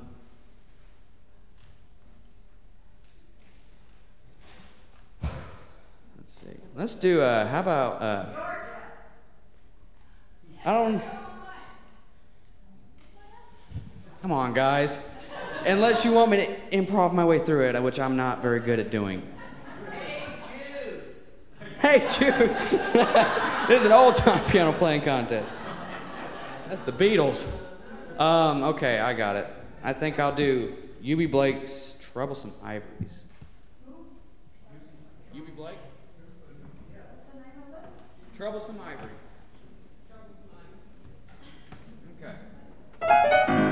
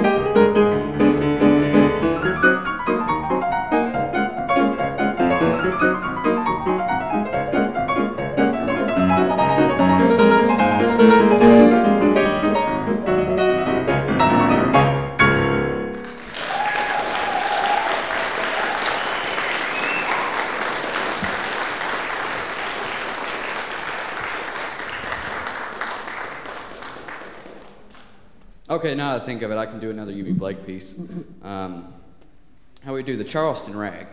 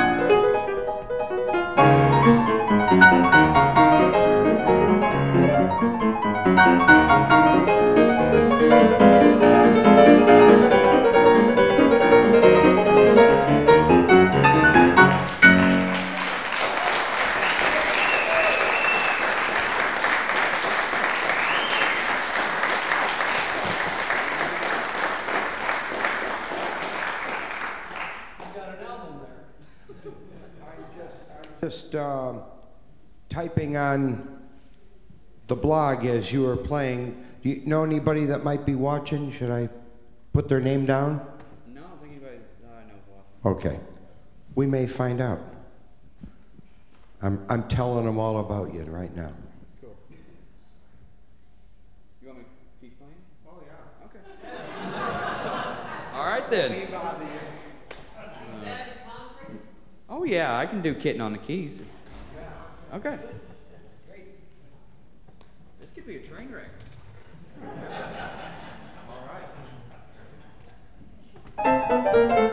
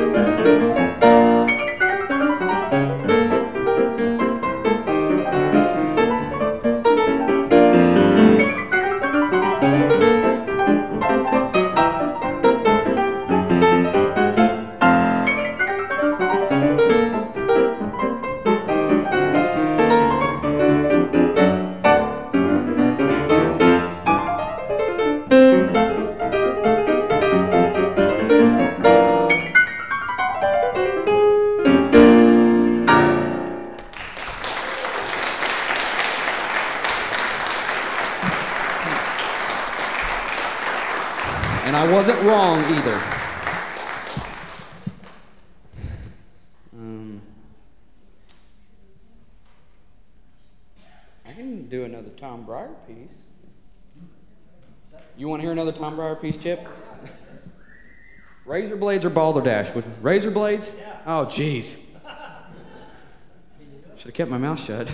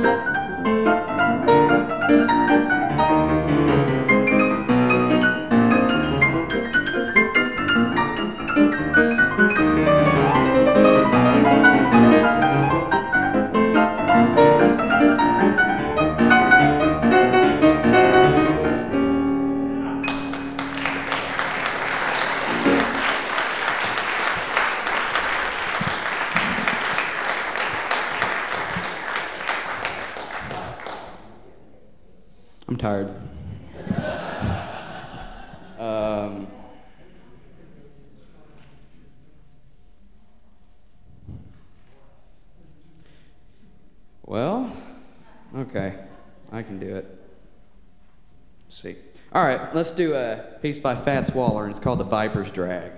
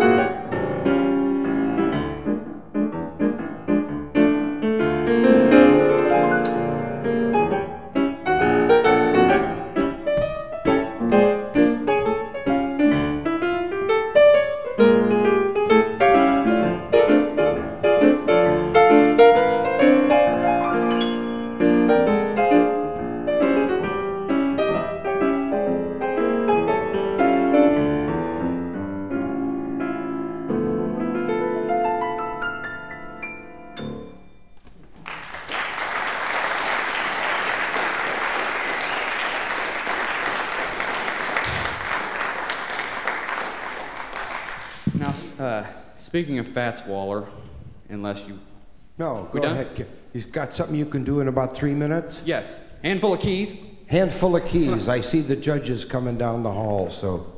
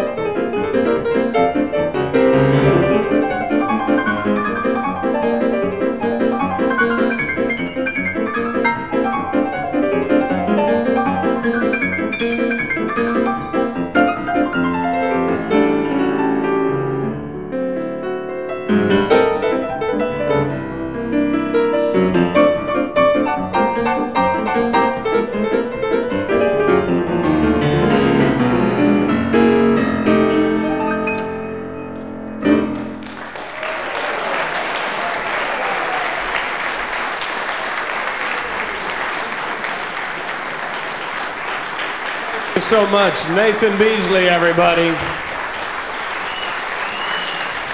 Did you mean to leave money in the back of the piano? You might want to keep that. You want to slip him a dollar as he goes up there? Here, I need to get the other mic. Well, the judges are back, and here's what happens now. Faye Ballard, our contest coordinator, gets in, we will draw five names for first, second, third, fourth, and fifth position to play. And we'll hear two more tunes from each of them. Sorry it's been a long afternoon, but some people played some long songs. And we did some long talking. Oh, it has been long, hasn't it? But nobody's left, so we're glad for that. You guys are down to listening to 10 more tunes and then you're done. Phew, That's a lot of tunes when you've already heard 475. have we got the top five Here ready we- to draw? here we here are. Comes, here she comes. All right, we got a pan right here. Tell you what. Yeah, come on up. Yeah. I know something you don't know.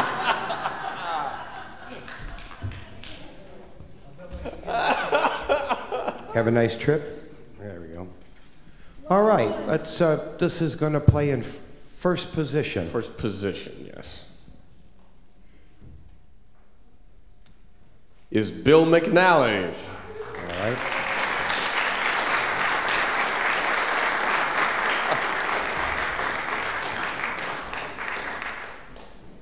Second position, Martin Spitznagel.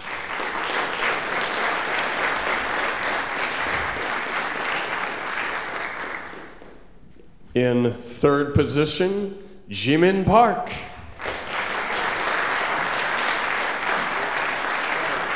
You can leave. Fourth position, David Cavallari.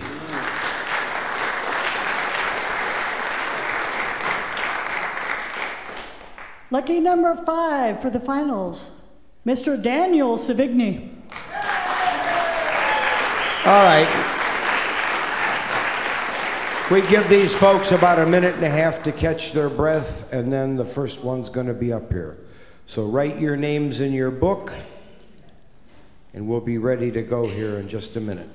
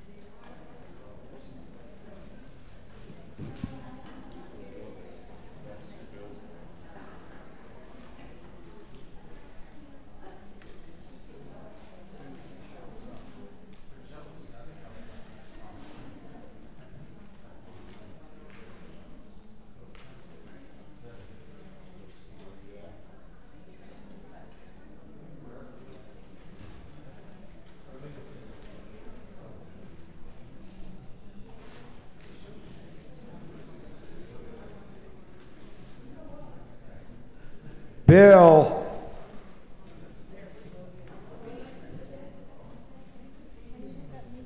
Where's Bill? All right, ready? Three, two, one. Thank you, judges.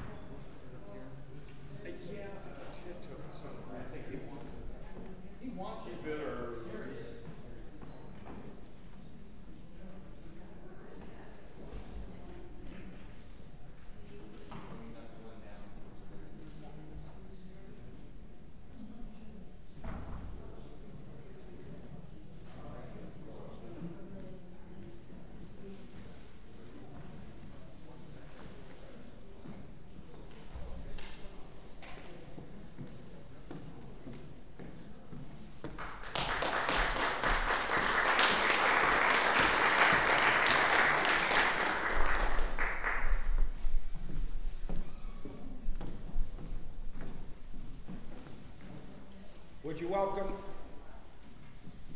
Would you welcome to the final stage, William McNally.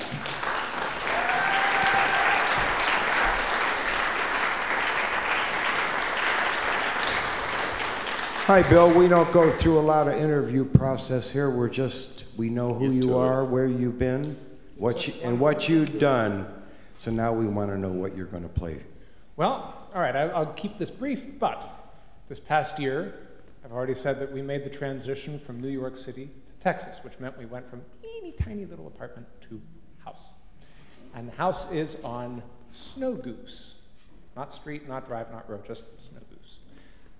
And we bought the house on a day where it was 104 degrees, and it's like, what is a snow goose doing at 104 degrees?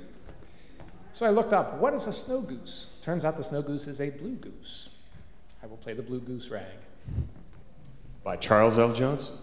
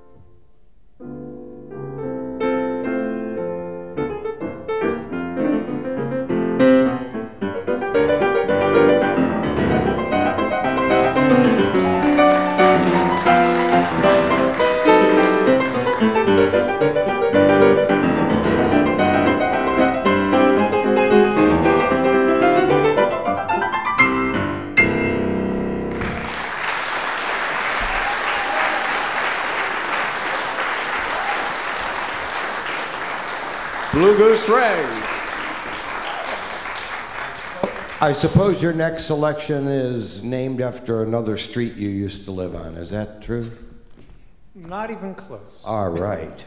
It's, it's sort of, well, I'm looking forward to seeing my wife again. And the next tune I'm going to be playing is called Lover Come Back to Me. And uh, this was a, an arrangement written by the fantastic novelty and studio pianist of the 1920s and 30s, Arthur Schutt. And as I learned it, I thought, boy, why doesn't anyone know about this piece? And then I started fishing around. It's like Billie Holiday recorded this piece, Ella Fitzgerald, Louis Armstrong, Nat King Cole, Bing Crosby, Barbara Streisand did a really knockout one. She doesn't come in here So- much anymore. So this is tried and true, but it's just a magnificent piece. Lover, come back to me.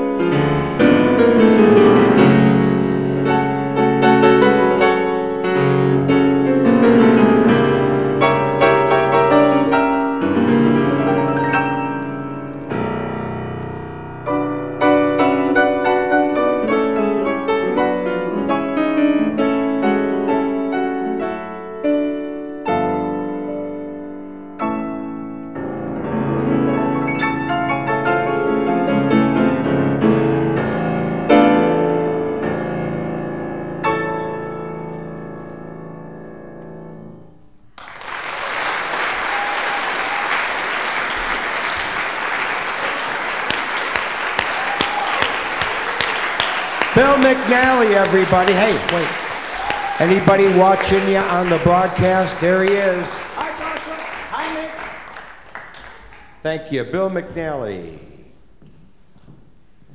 Well, do you want to play a brief number? We, we don't want to take a lot of time. How about, uh, can you do the minute waltz in about 38 No. seconds? I know that's the minute waltz. It's not really the minute waltz. Let's see. I could do a couple of more songs, ask if people can name oh, them. Yeah. See if I have a couple of more dollars.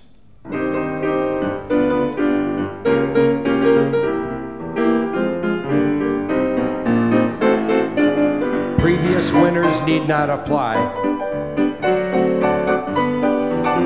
Right over here. Previous winners need not apply. Sir. He got it. Whoa, come on up and get one of my last dollars.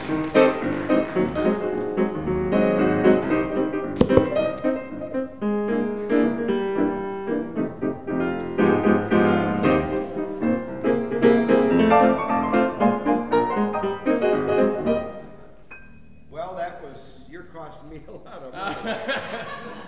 Why don't you try another harder one? There are too many experts in the audience. Um, Previous winners. okay. Oliver's disqualified. He can't guess this one. And this if guy. anybody, nobody will get this.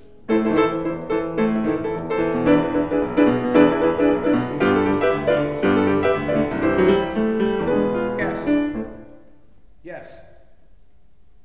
I don't think she's guessing. I'm sorry, she's fixing her hair. I thought she was bidding. Anybody else?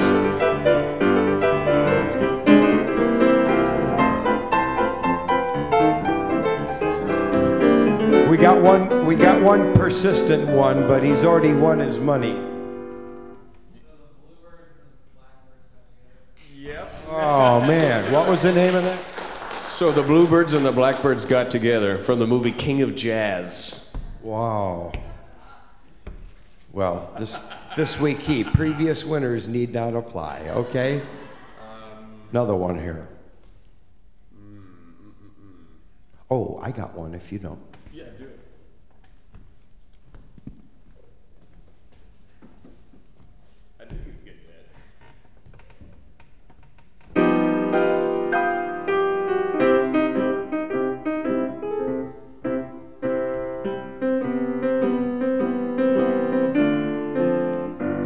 This audience should know this.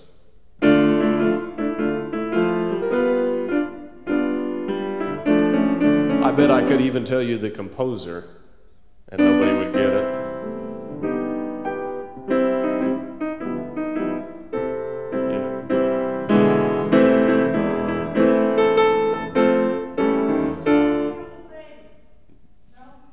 Got one word right.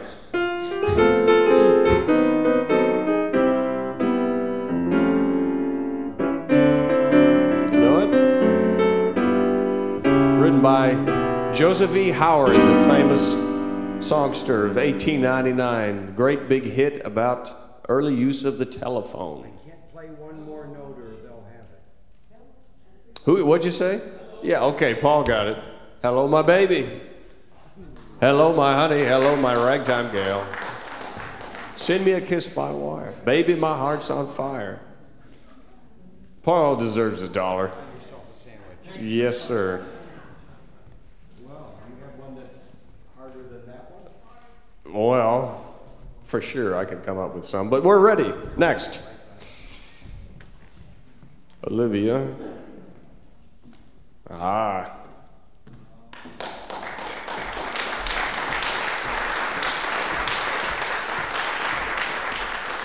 Yes, poor Olivia will be on the unemployment line by Monday. This is her.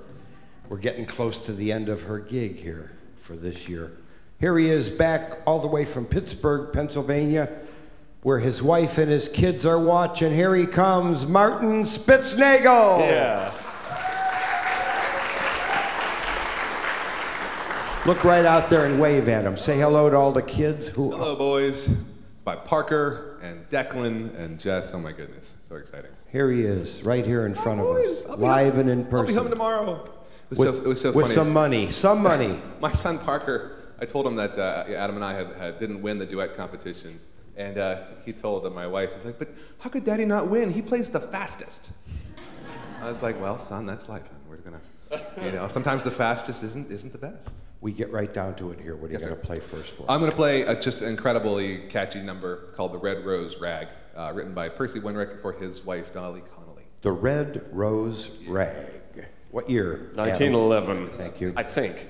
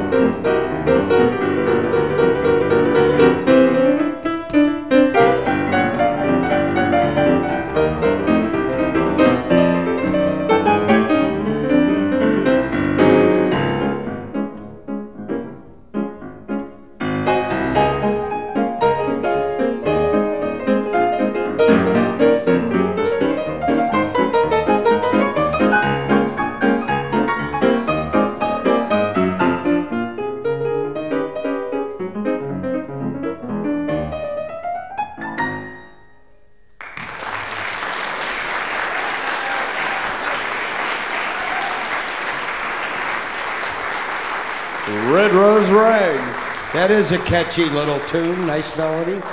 Well done. And what's your second one Gonna I'm going to play for? one of my favorite tunes uh, called Hobson Street Blues by a pianist named Bob Zurke.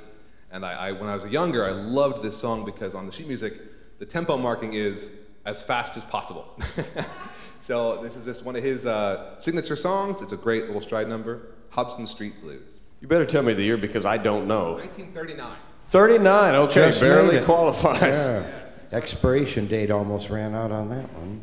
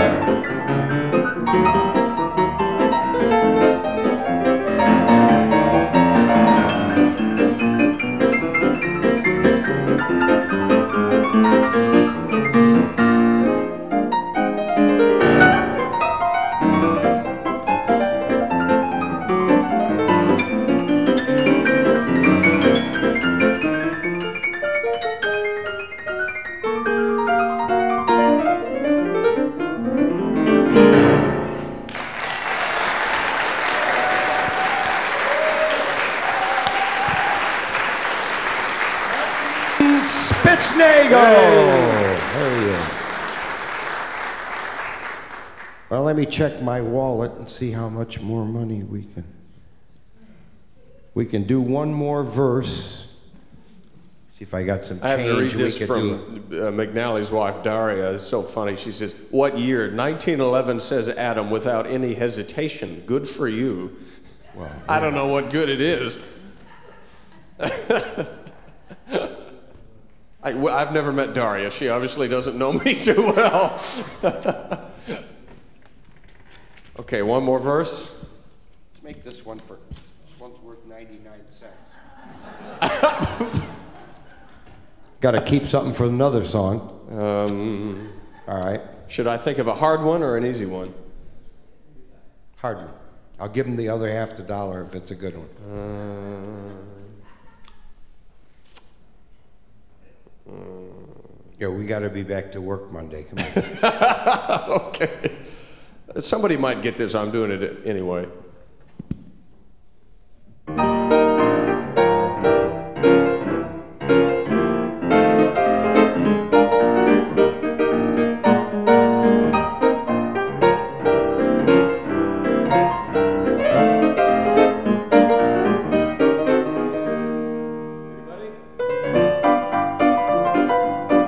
Sir, can't you won already?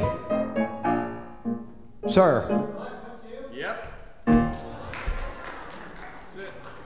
come on up here, Ken. Get your 90, your 99 cents. Now. I don't know, but I've, the bank called me. You can tape it There together. Well, let me try one here. Oh, I got one maybe that somebody won't get. Okay.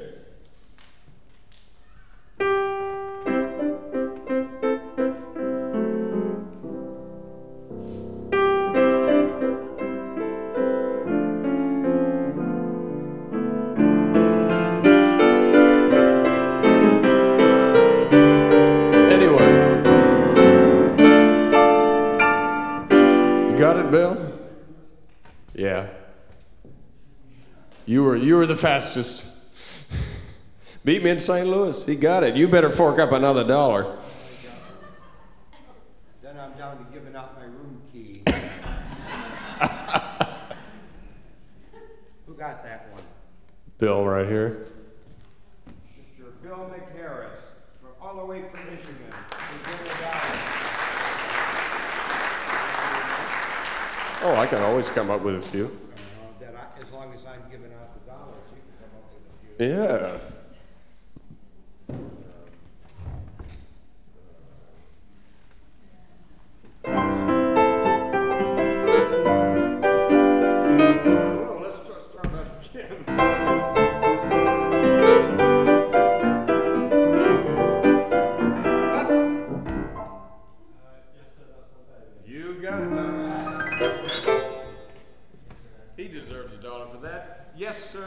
My baby. Yes, sir, don't mean maybe. Big hit for Ray Henderson, 1925. Hey. Is that good back in England? May have to exchange it before you get there.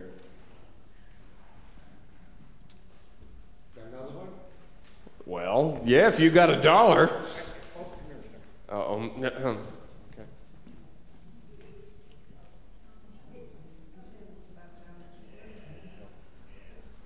Okay. Okay. I'll bet a dollar on it. yeah. This will be harder. Oh, lights on. We'll do that next round.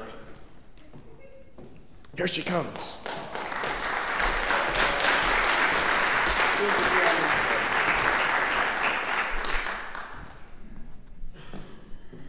All the way from Boston, Jameen Park. Come on out. There she is. People already know you. They've heard you once today, and we get right down to business on this round and find out what you're going to play for your first selection. Uh, I'm, I'm going to play Poor Katie Red by Eubie Blake. Poor Katie Red by Eubie Blake.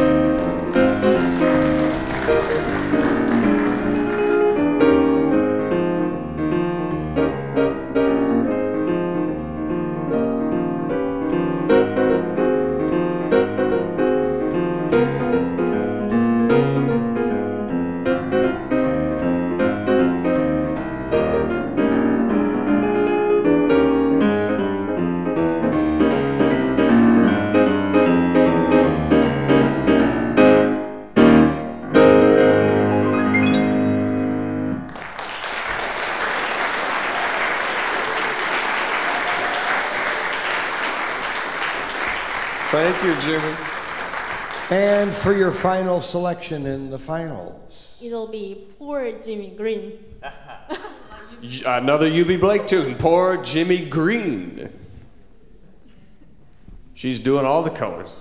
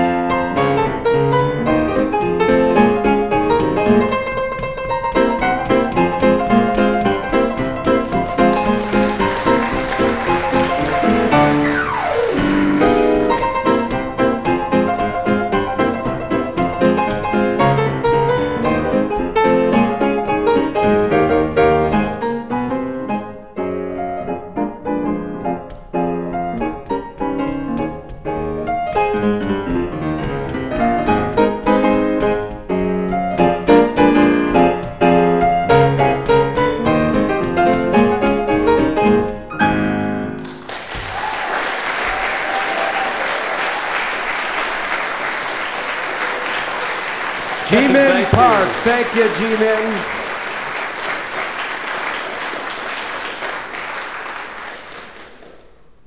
You said you had two dollars, so let's put I them do. up. Put them up. Setting that down. Here's the last two dollars I have in the world. All right. In the world. I seen that room full of all that collectible stuff you've got. I don't. I'm not selling it. All right. Here's our verse. Let's see who gets it. Yes, sir. Is he qualified? Did he win any money here today? No, but I guess we've been giving prizes to contestants, so he. Yes. gets it. When the midnight choo-choo leaves for Alabama. It's my dollar too. There you go. Why don't you play a little bit of this so they'll hear what he won?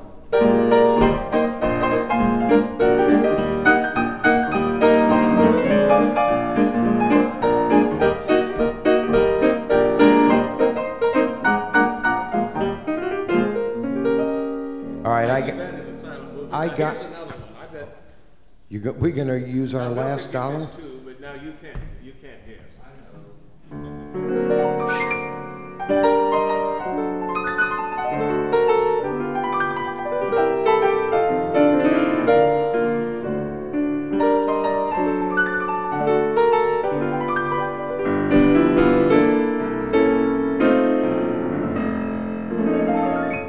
Anybody have it? You know? The chorus? It's a famous song. 1920s.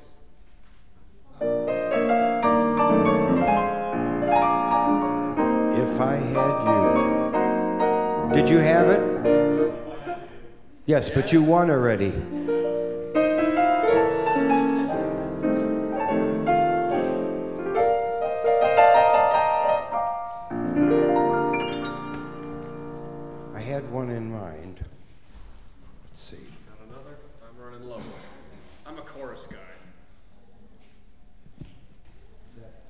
Is that the one that stands next to the chorus girls? Oh, we got some more dollars to use. This is good. Oh, thank you. Thank you, Eric. Anybody from Chicago is going to get this one right away.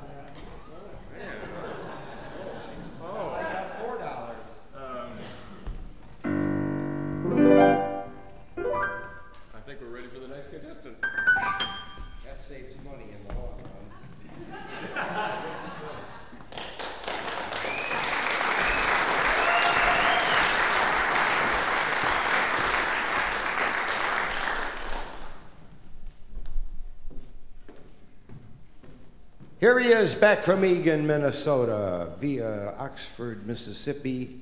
David Cavallari. There he is. Ta-da! Well, Dave, we're glad to have you in the finals. I hope you're you have a successful weekend. What are you going to play for us first? Well, first, I want to just say one quick thing. Apparently, my, my brother and my two and a half year old niece were watching uh, the live feed. And I'm told that when I went off stage before, my niece Clara was very concerned that I was walking off stage while still wearing my blindfold. So I just want to let her know I'm fine. I almost tripped over a tuba, but I'm okay. There's a tuba back there. They keep them locked in those cages so they don't get out. Did you see them back there? Yeah. What are you going to So play So I'm going to play uh, Between the Devil and the Deep Blue Sea. Between the Devil and the Deep Blue Sea. Harold Arlen.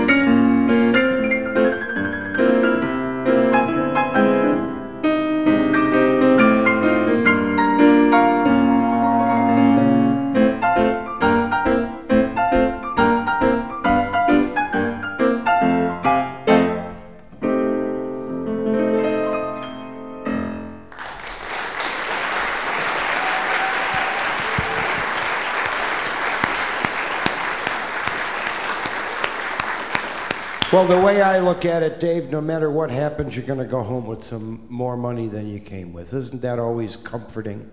A little bit, yeah. Helps. Uh, you flew this year or drove? Uh, both. I flew into Memphis and then we got barbecue and drove down here. Oh, okay. Well, that's the way to do it. What's next for us? I'm going to play Tank Town Bump by Jelly Roll Morton. Tank Town Bump.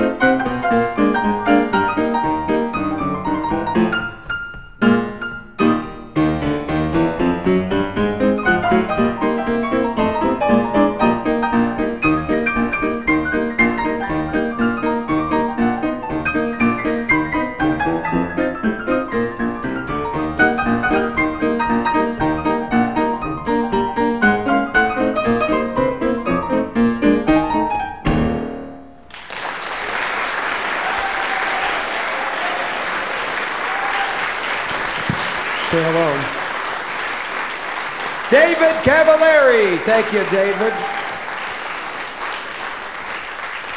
Now, we want to just take a minute to thank you, our audience, before our last contestant, for your wonderful courtesy to all of our musicians and kindness to those who help run the contest as volunteers and put it all together. We hope if you filled out your survey, you'll remember to turn it in either at the desk out here or at the back. We appreciate your comments and your opinions, and we hope that you will join us again next year for the 2018 World Championship Old Time Piano Playing Contest here at Ole Miss in Oxford, Mississippi.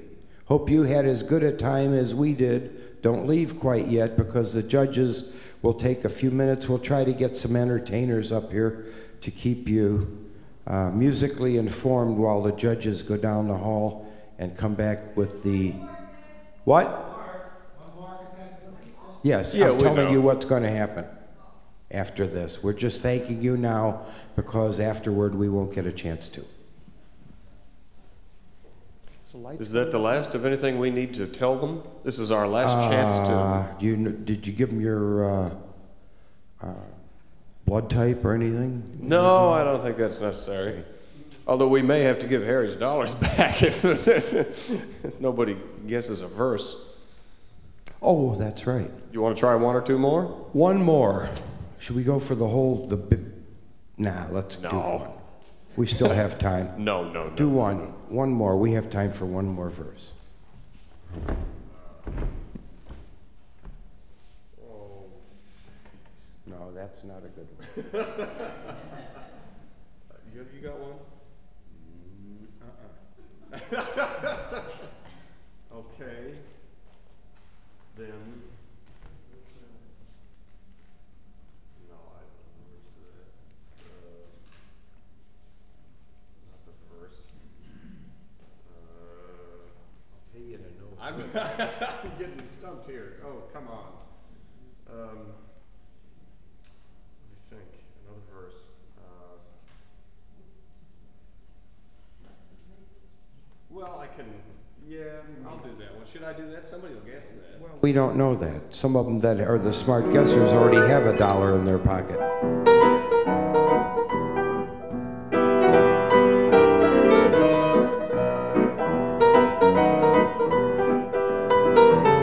Up. Here we go. Shine on Harvest Moon.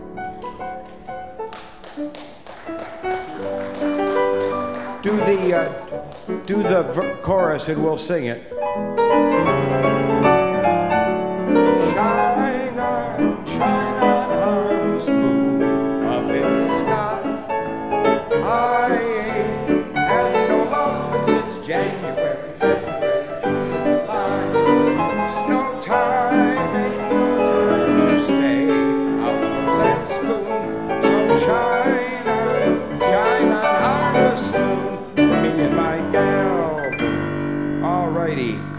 Festivities are over.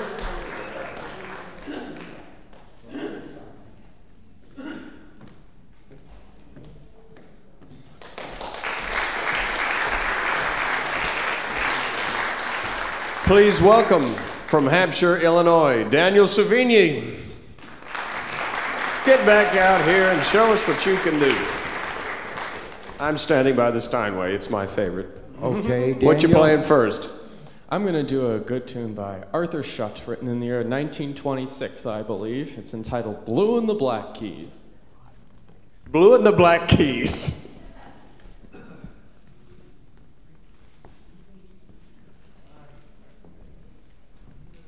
Mm-hmm.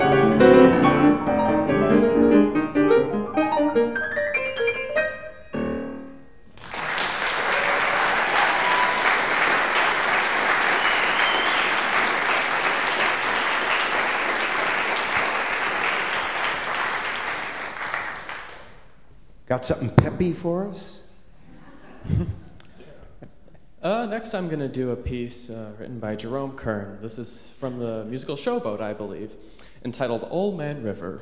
Old Man River, not a relation. My of- favorite year, 1927.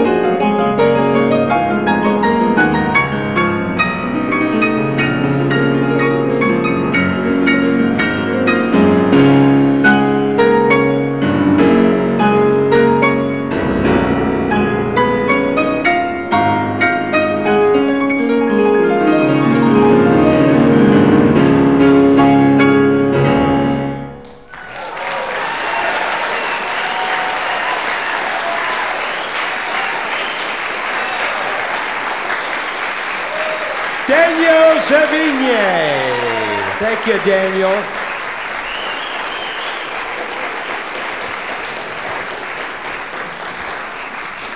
Now, our judges will scratch a few more things.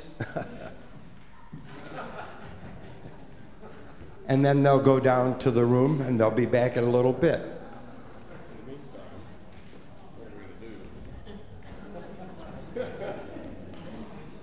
Hey, Ragtime.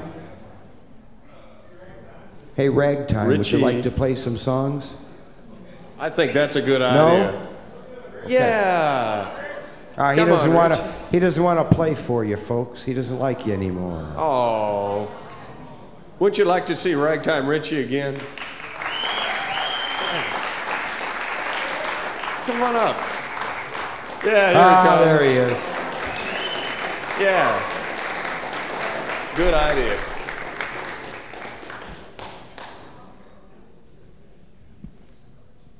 Here, what, what, what do you think you might play? Any ideas?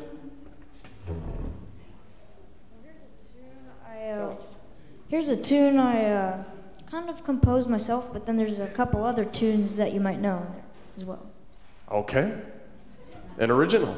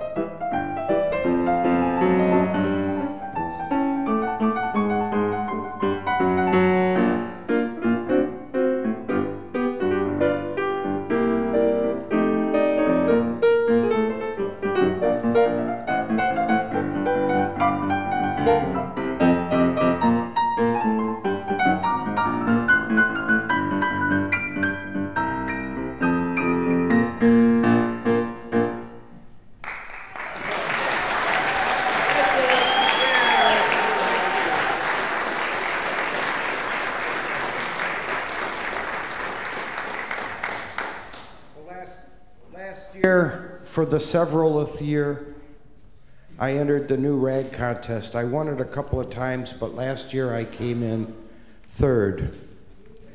So I took my the second strain from my ragtime piece and turned it into a blues number, which I performed at Marty Sammon's Blues Fling just a couple of months ago in Chicago, well, Tinley Park, Illinois. We do uh, Marty Sammon Blues Flings four, about four times a year in Tinley Park, Illinois. Marty was a two time junior world champion in about 94 and 95 when he was 14, 15 years old, and now he's been over 13 years as the keyboard player for the Buddy Guy Band. And so, this is uh, what's left of my rag from last year.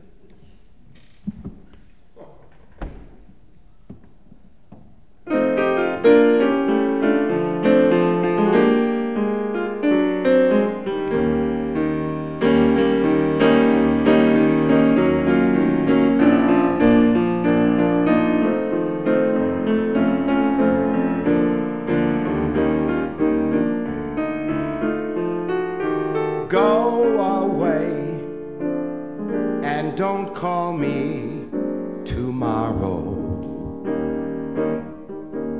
Far as I am concerned, all our bridges are burned, and we gotta be done.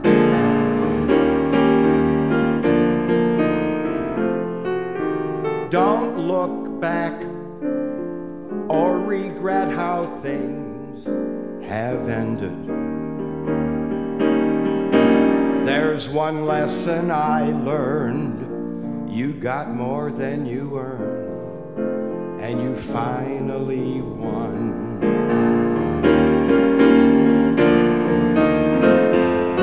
I loved you, and I never thought you'd end it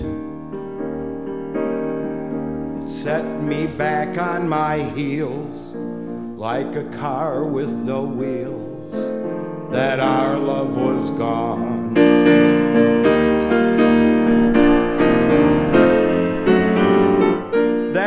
was nothing I could do to mend it.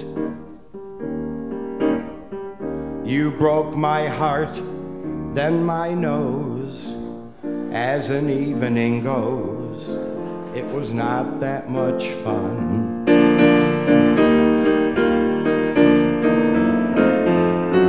A little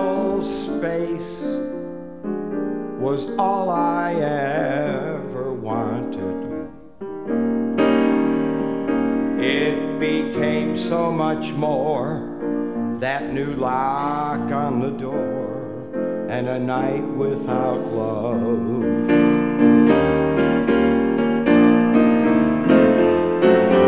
That's okay, cause I'm hardly gonna miss you. Put my stuff in the hall when I go out to the mall. I'll make it all gone.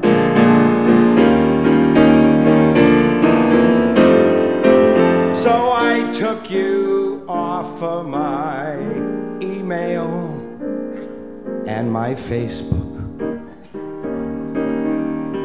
No more tweets, no more chats, no cute pictures of cats. I hope your heart sank.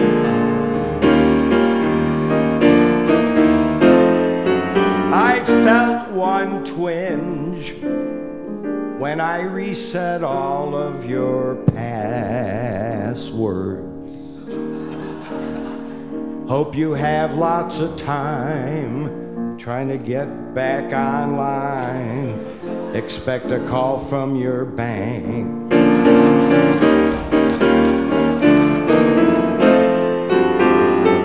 In a couple of years, it will not matter. And the thrill of that touch that once mattered so much, just a faint memory.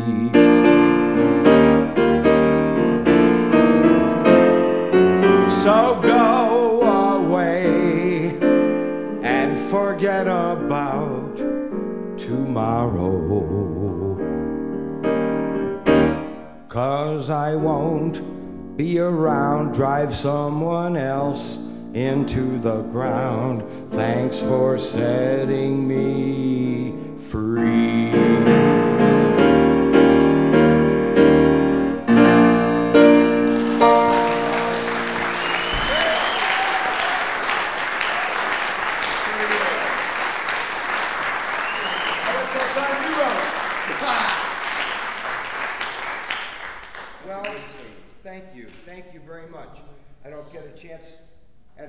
A piano contest, you don't get a lot of chance to do vocal stuff. And uh, most of the tunes I write, I, I tend to put a little twist in them.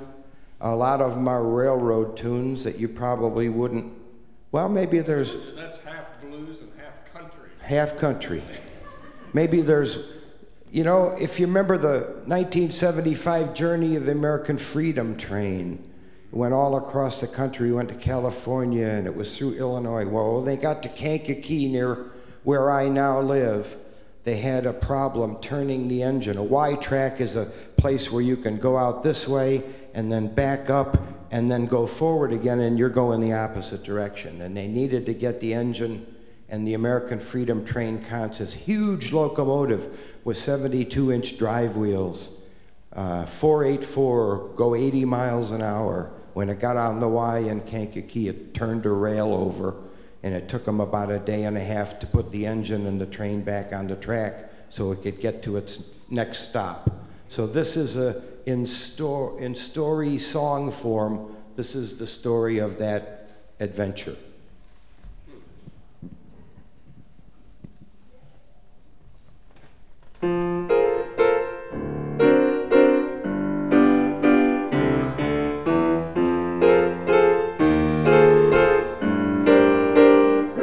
I seen horrible track where you had to stand back if a choo-choo train chugged into sight. It made passengers shriek.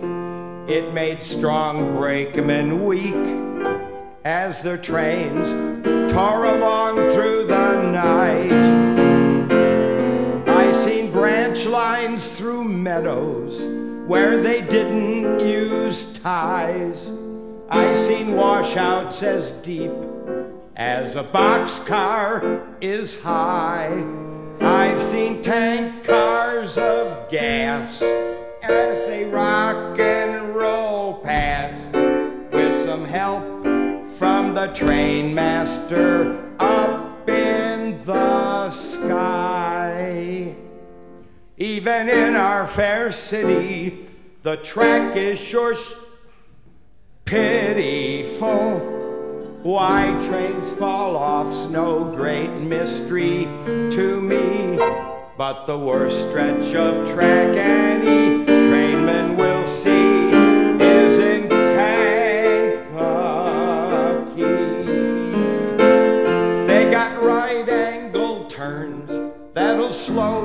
train down. If the wind's from the west, you'll have wheels on the ground. Oh, the track down there stinks, cause there's too many kinks down in Kankakee. Yes, their track is a jinx, cause there's too many kinks down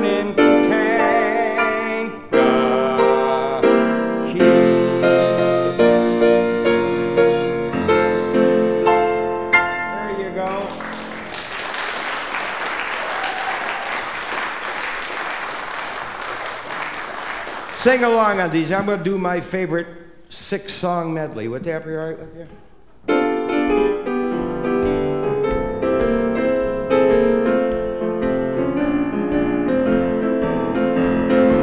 Shine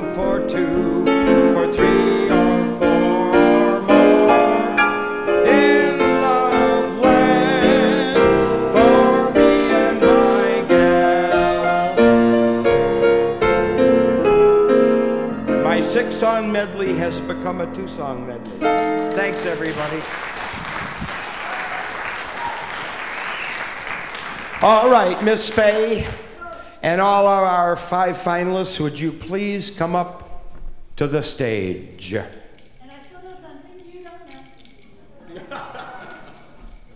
Watch out, she's armed and dangerous. I hear jing.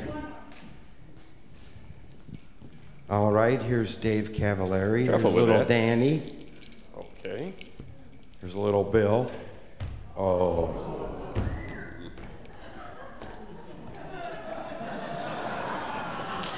Come on, Martin. This is, this, Martin I'll keep this Spitznagel. straight. Yimin, there she is. All right, here we go. Here's what the procedure is Faye has ribbons with medallions for uh, all of the places. What does our winner get this year in monetarily? 1500 About?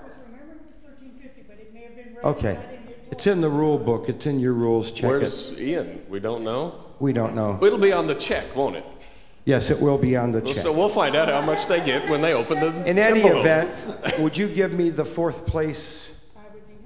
I have fifth. Fifth place, okay. You can do fifth, Yeah. and I'll do fourth then right after that. Just walk along. Shall pick, I go first? Pick out the person you think deserves that envelope. Oh, well, it's not my decision. But here you go, David. Congratulations.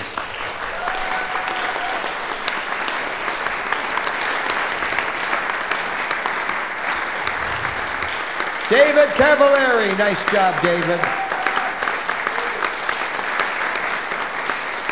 Okay, this is our third runner up, fourth place.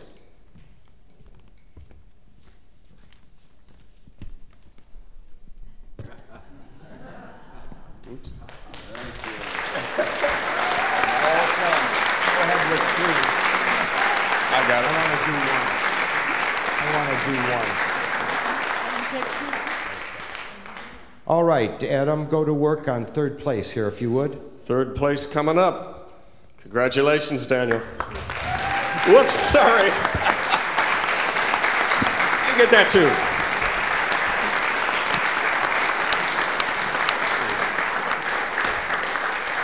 Okay. Did you all enjoy this competition? This has been one of the toughest fields I have ever seen. Amazing. A truly tough field.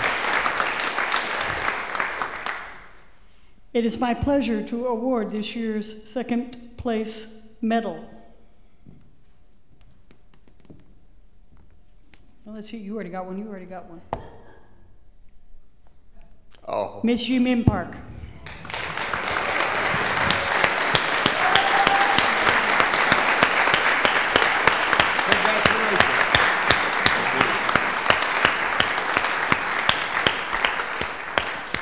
Bill McNally!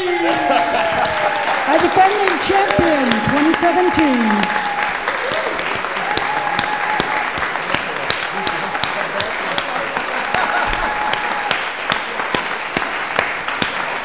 Aren't they great? If you'd like to get pictures, come right up to the front, everybody. Ta-da! Yay! Hold it up.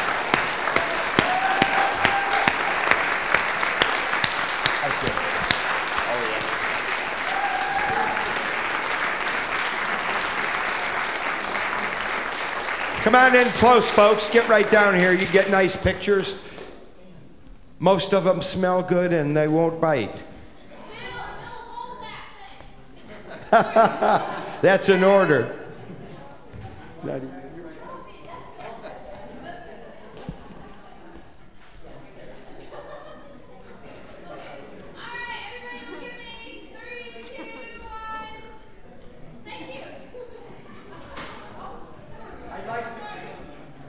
To introduce to you at this time the executive director of this contest. Would you welcome Ian Hominick?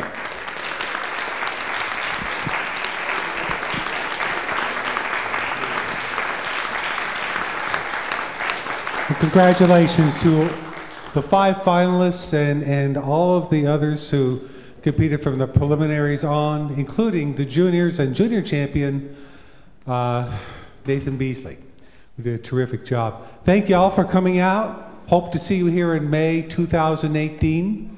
Uh, for those of you who are looking for dinner opportunities, the Oxford University Club buffet is open. Uh, so you can go over there at any time. Uh, and then uh, there are uh, a plethora of other good dining opportunities around the Oxford Square. Have a safe journey home if I don't see you again. And please come back, tell your friends, and bring them with you next May.